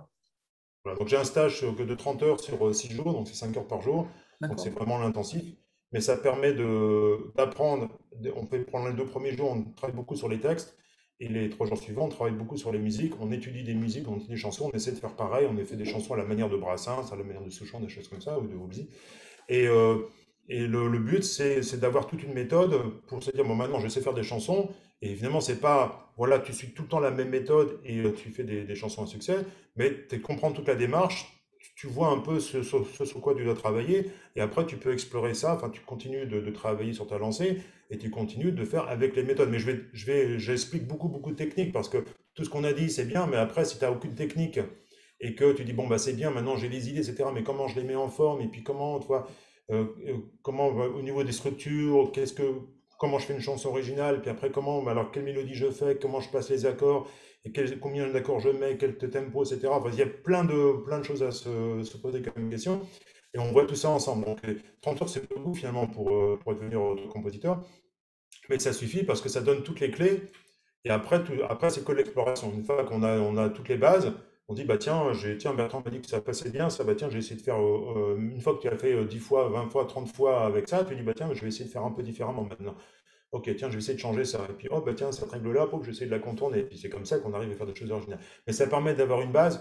Et c'est un stage qui peut euh, s'adresser même à ceux qui ont, soit ceux qui font déjà des chansons, mais qui sont un peu hésitants, ou ils ne savent pas trop faire, ou des gens qui veulent vraiment en faire et qui ne euh, savent pas du tout en faire. Quoi. Et, et en, fait, euh, la, en fait, la différence, souvent on me pose la question, mais à la fin, quel statut j'ai? Qu'est-ce que je suis vraiment auteur-compositeur Est-ce que, est que je suis vraiment bon ou pas? En fait, la différence... tu ne donnes pas un diplôme à la fin?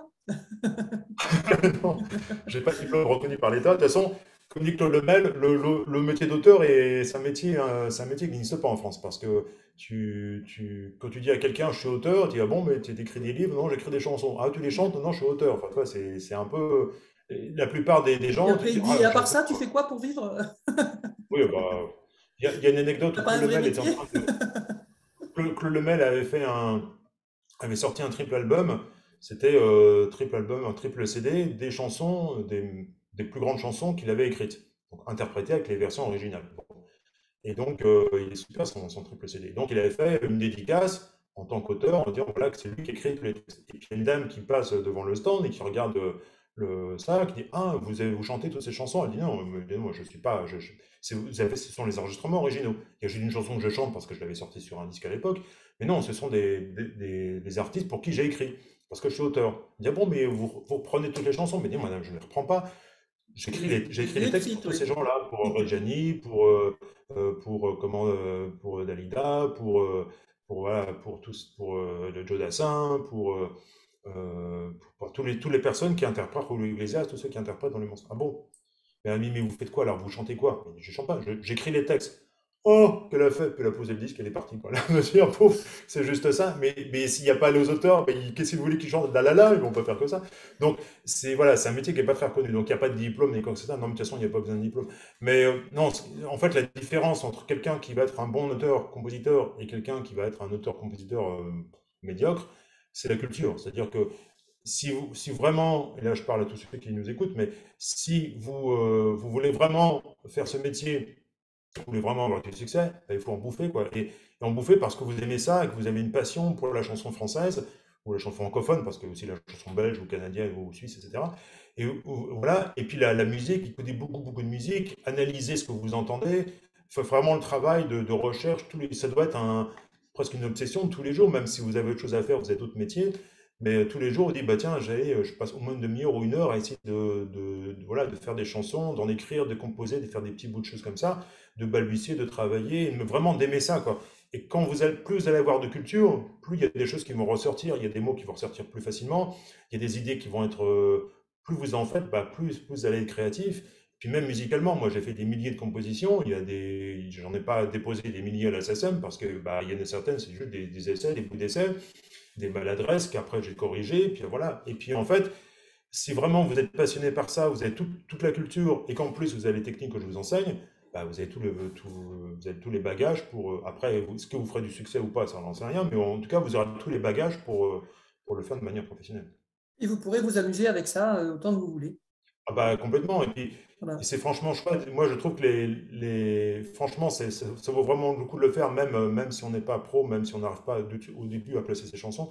D'être vraiment auteur-compositeur et de rencontrer des, des, gens du métier et de, de pouvoir travailler avec eux ou euh, enfin voilà, de dire tiens, si on se faisait une chanson ensemble, d'aller voir quelqu'un là, tout simplement à la sortie d'un spectacle en disant ah j'adorais ce que vous faites, justement, tiens, je suis en train de travailler sur les chansons, ça vous dirait qu'on la finisse ensemble Bah pourquoi pas? Si le gars dit bah oui, tiens, pourquoi pas, moi aussi je fais mes propres chansons. Et voilà, et franchement, partager ça, c'est génial, quoi. Quand on a, quand on part de zéro, on part d'une idée, on est pendant deux heures devant un café en train, en, train d'essayer d'écrire des choses, et puis qu'au bout de deux heures, on a une chanson, on dit waouh, mais ça y est. Il y a, Joe Dassin qui donnait une, une, image, qui disait pour moi, les chansons sont déjà prêtes, elles sont déjà dans le nirvana des chansons il faut aller les chercher. Donc il faut essayer de trouver une manière d'aller chercher les, chansons qui existent déjà.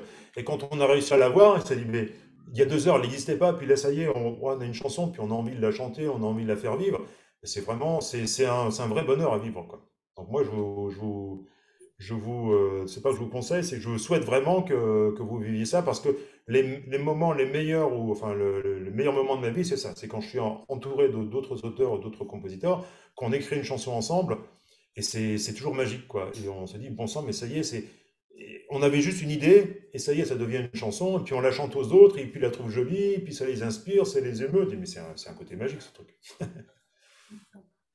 merci, ça se voit en tout cas que tu aimes ça, que, tu as l'air d'être un homme heureux. Merci de nous faire partager ta passion. Merci beaucoup.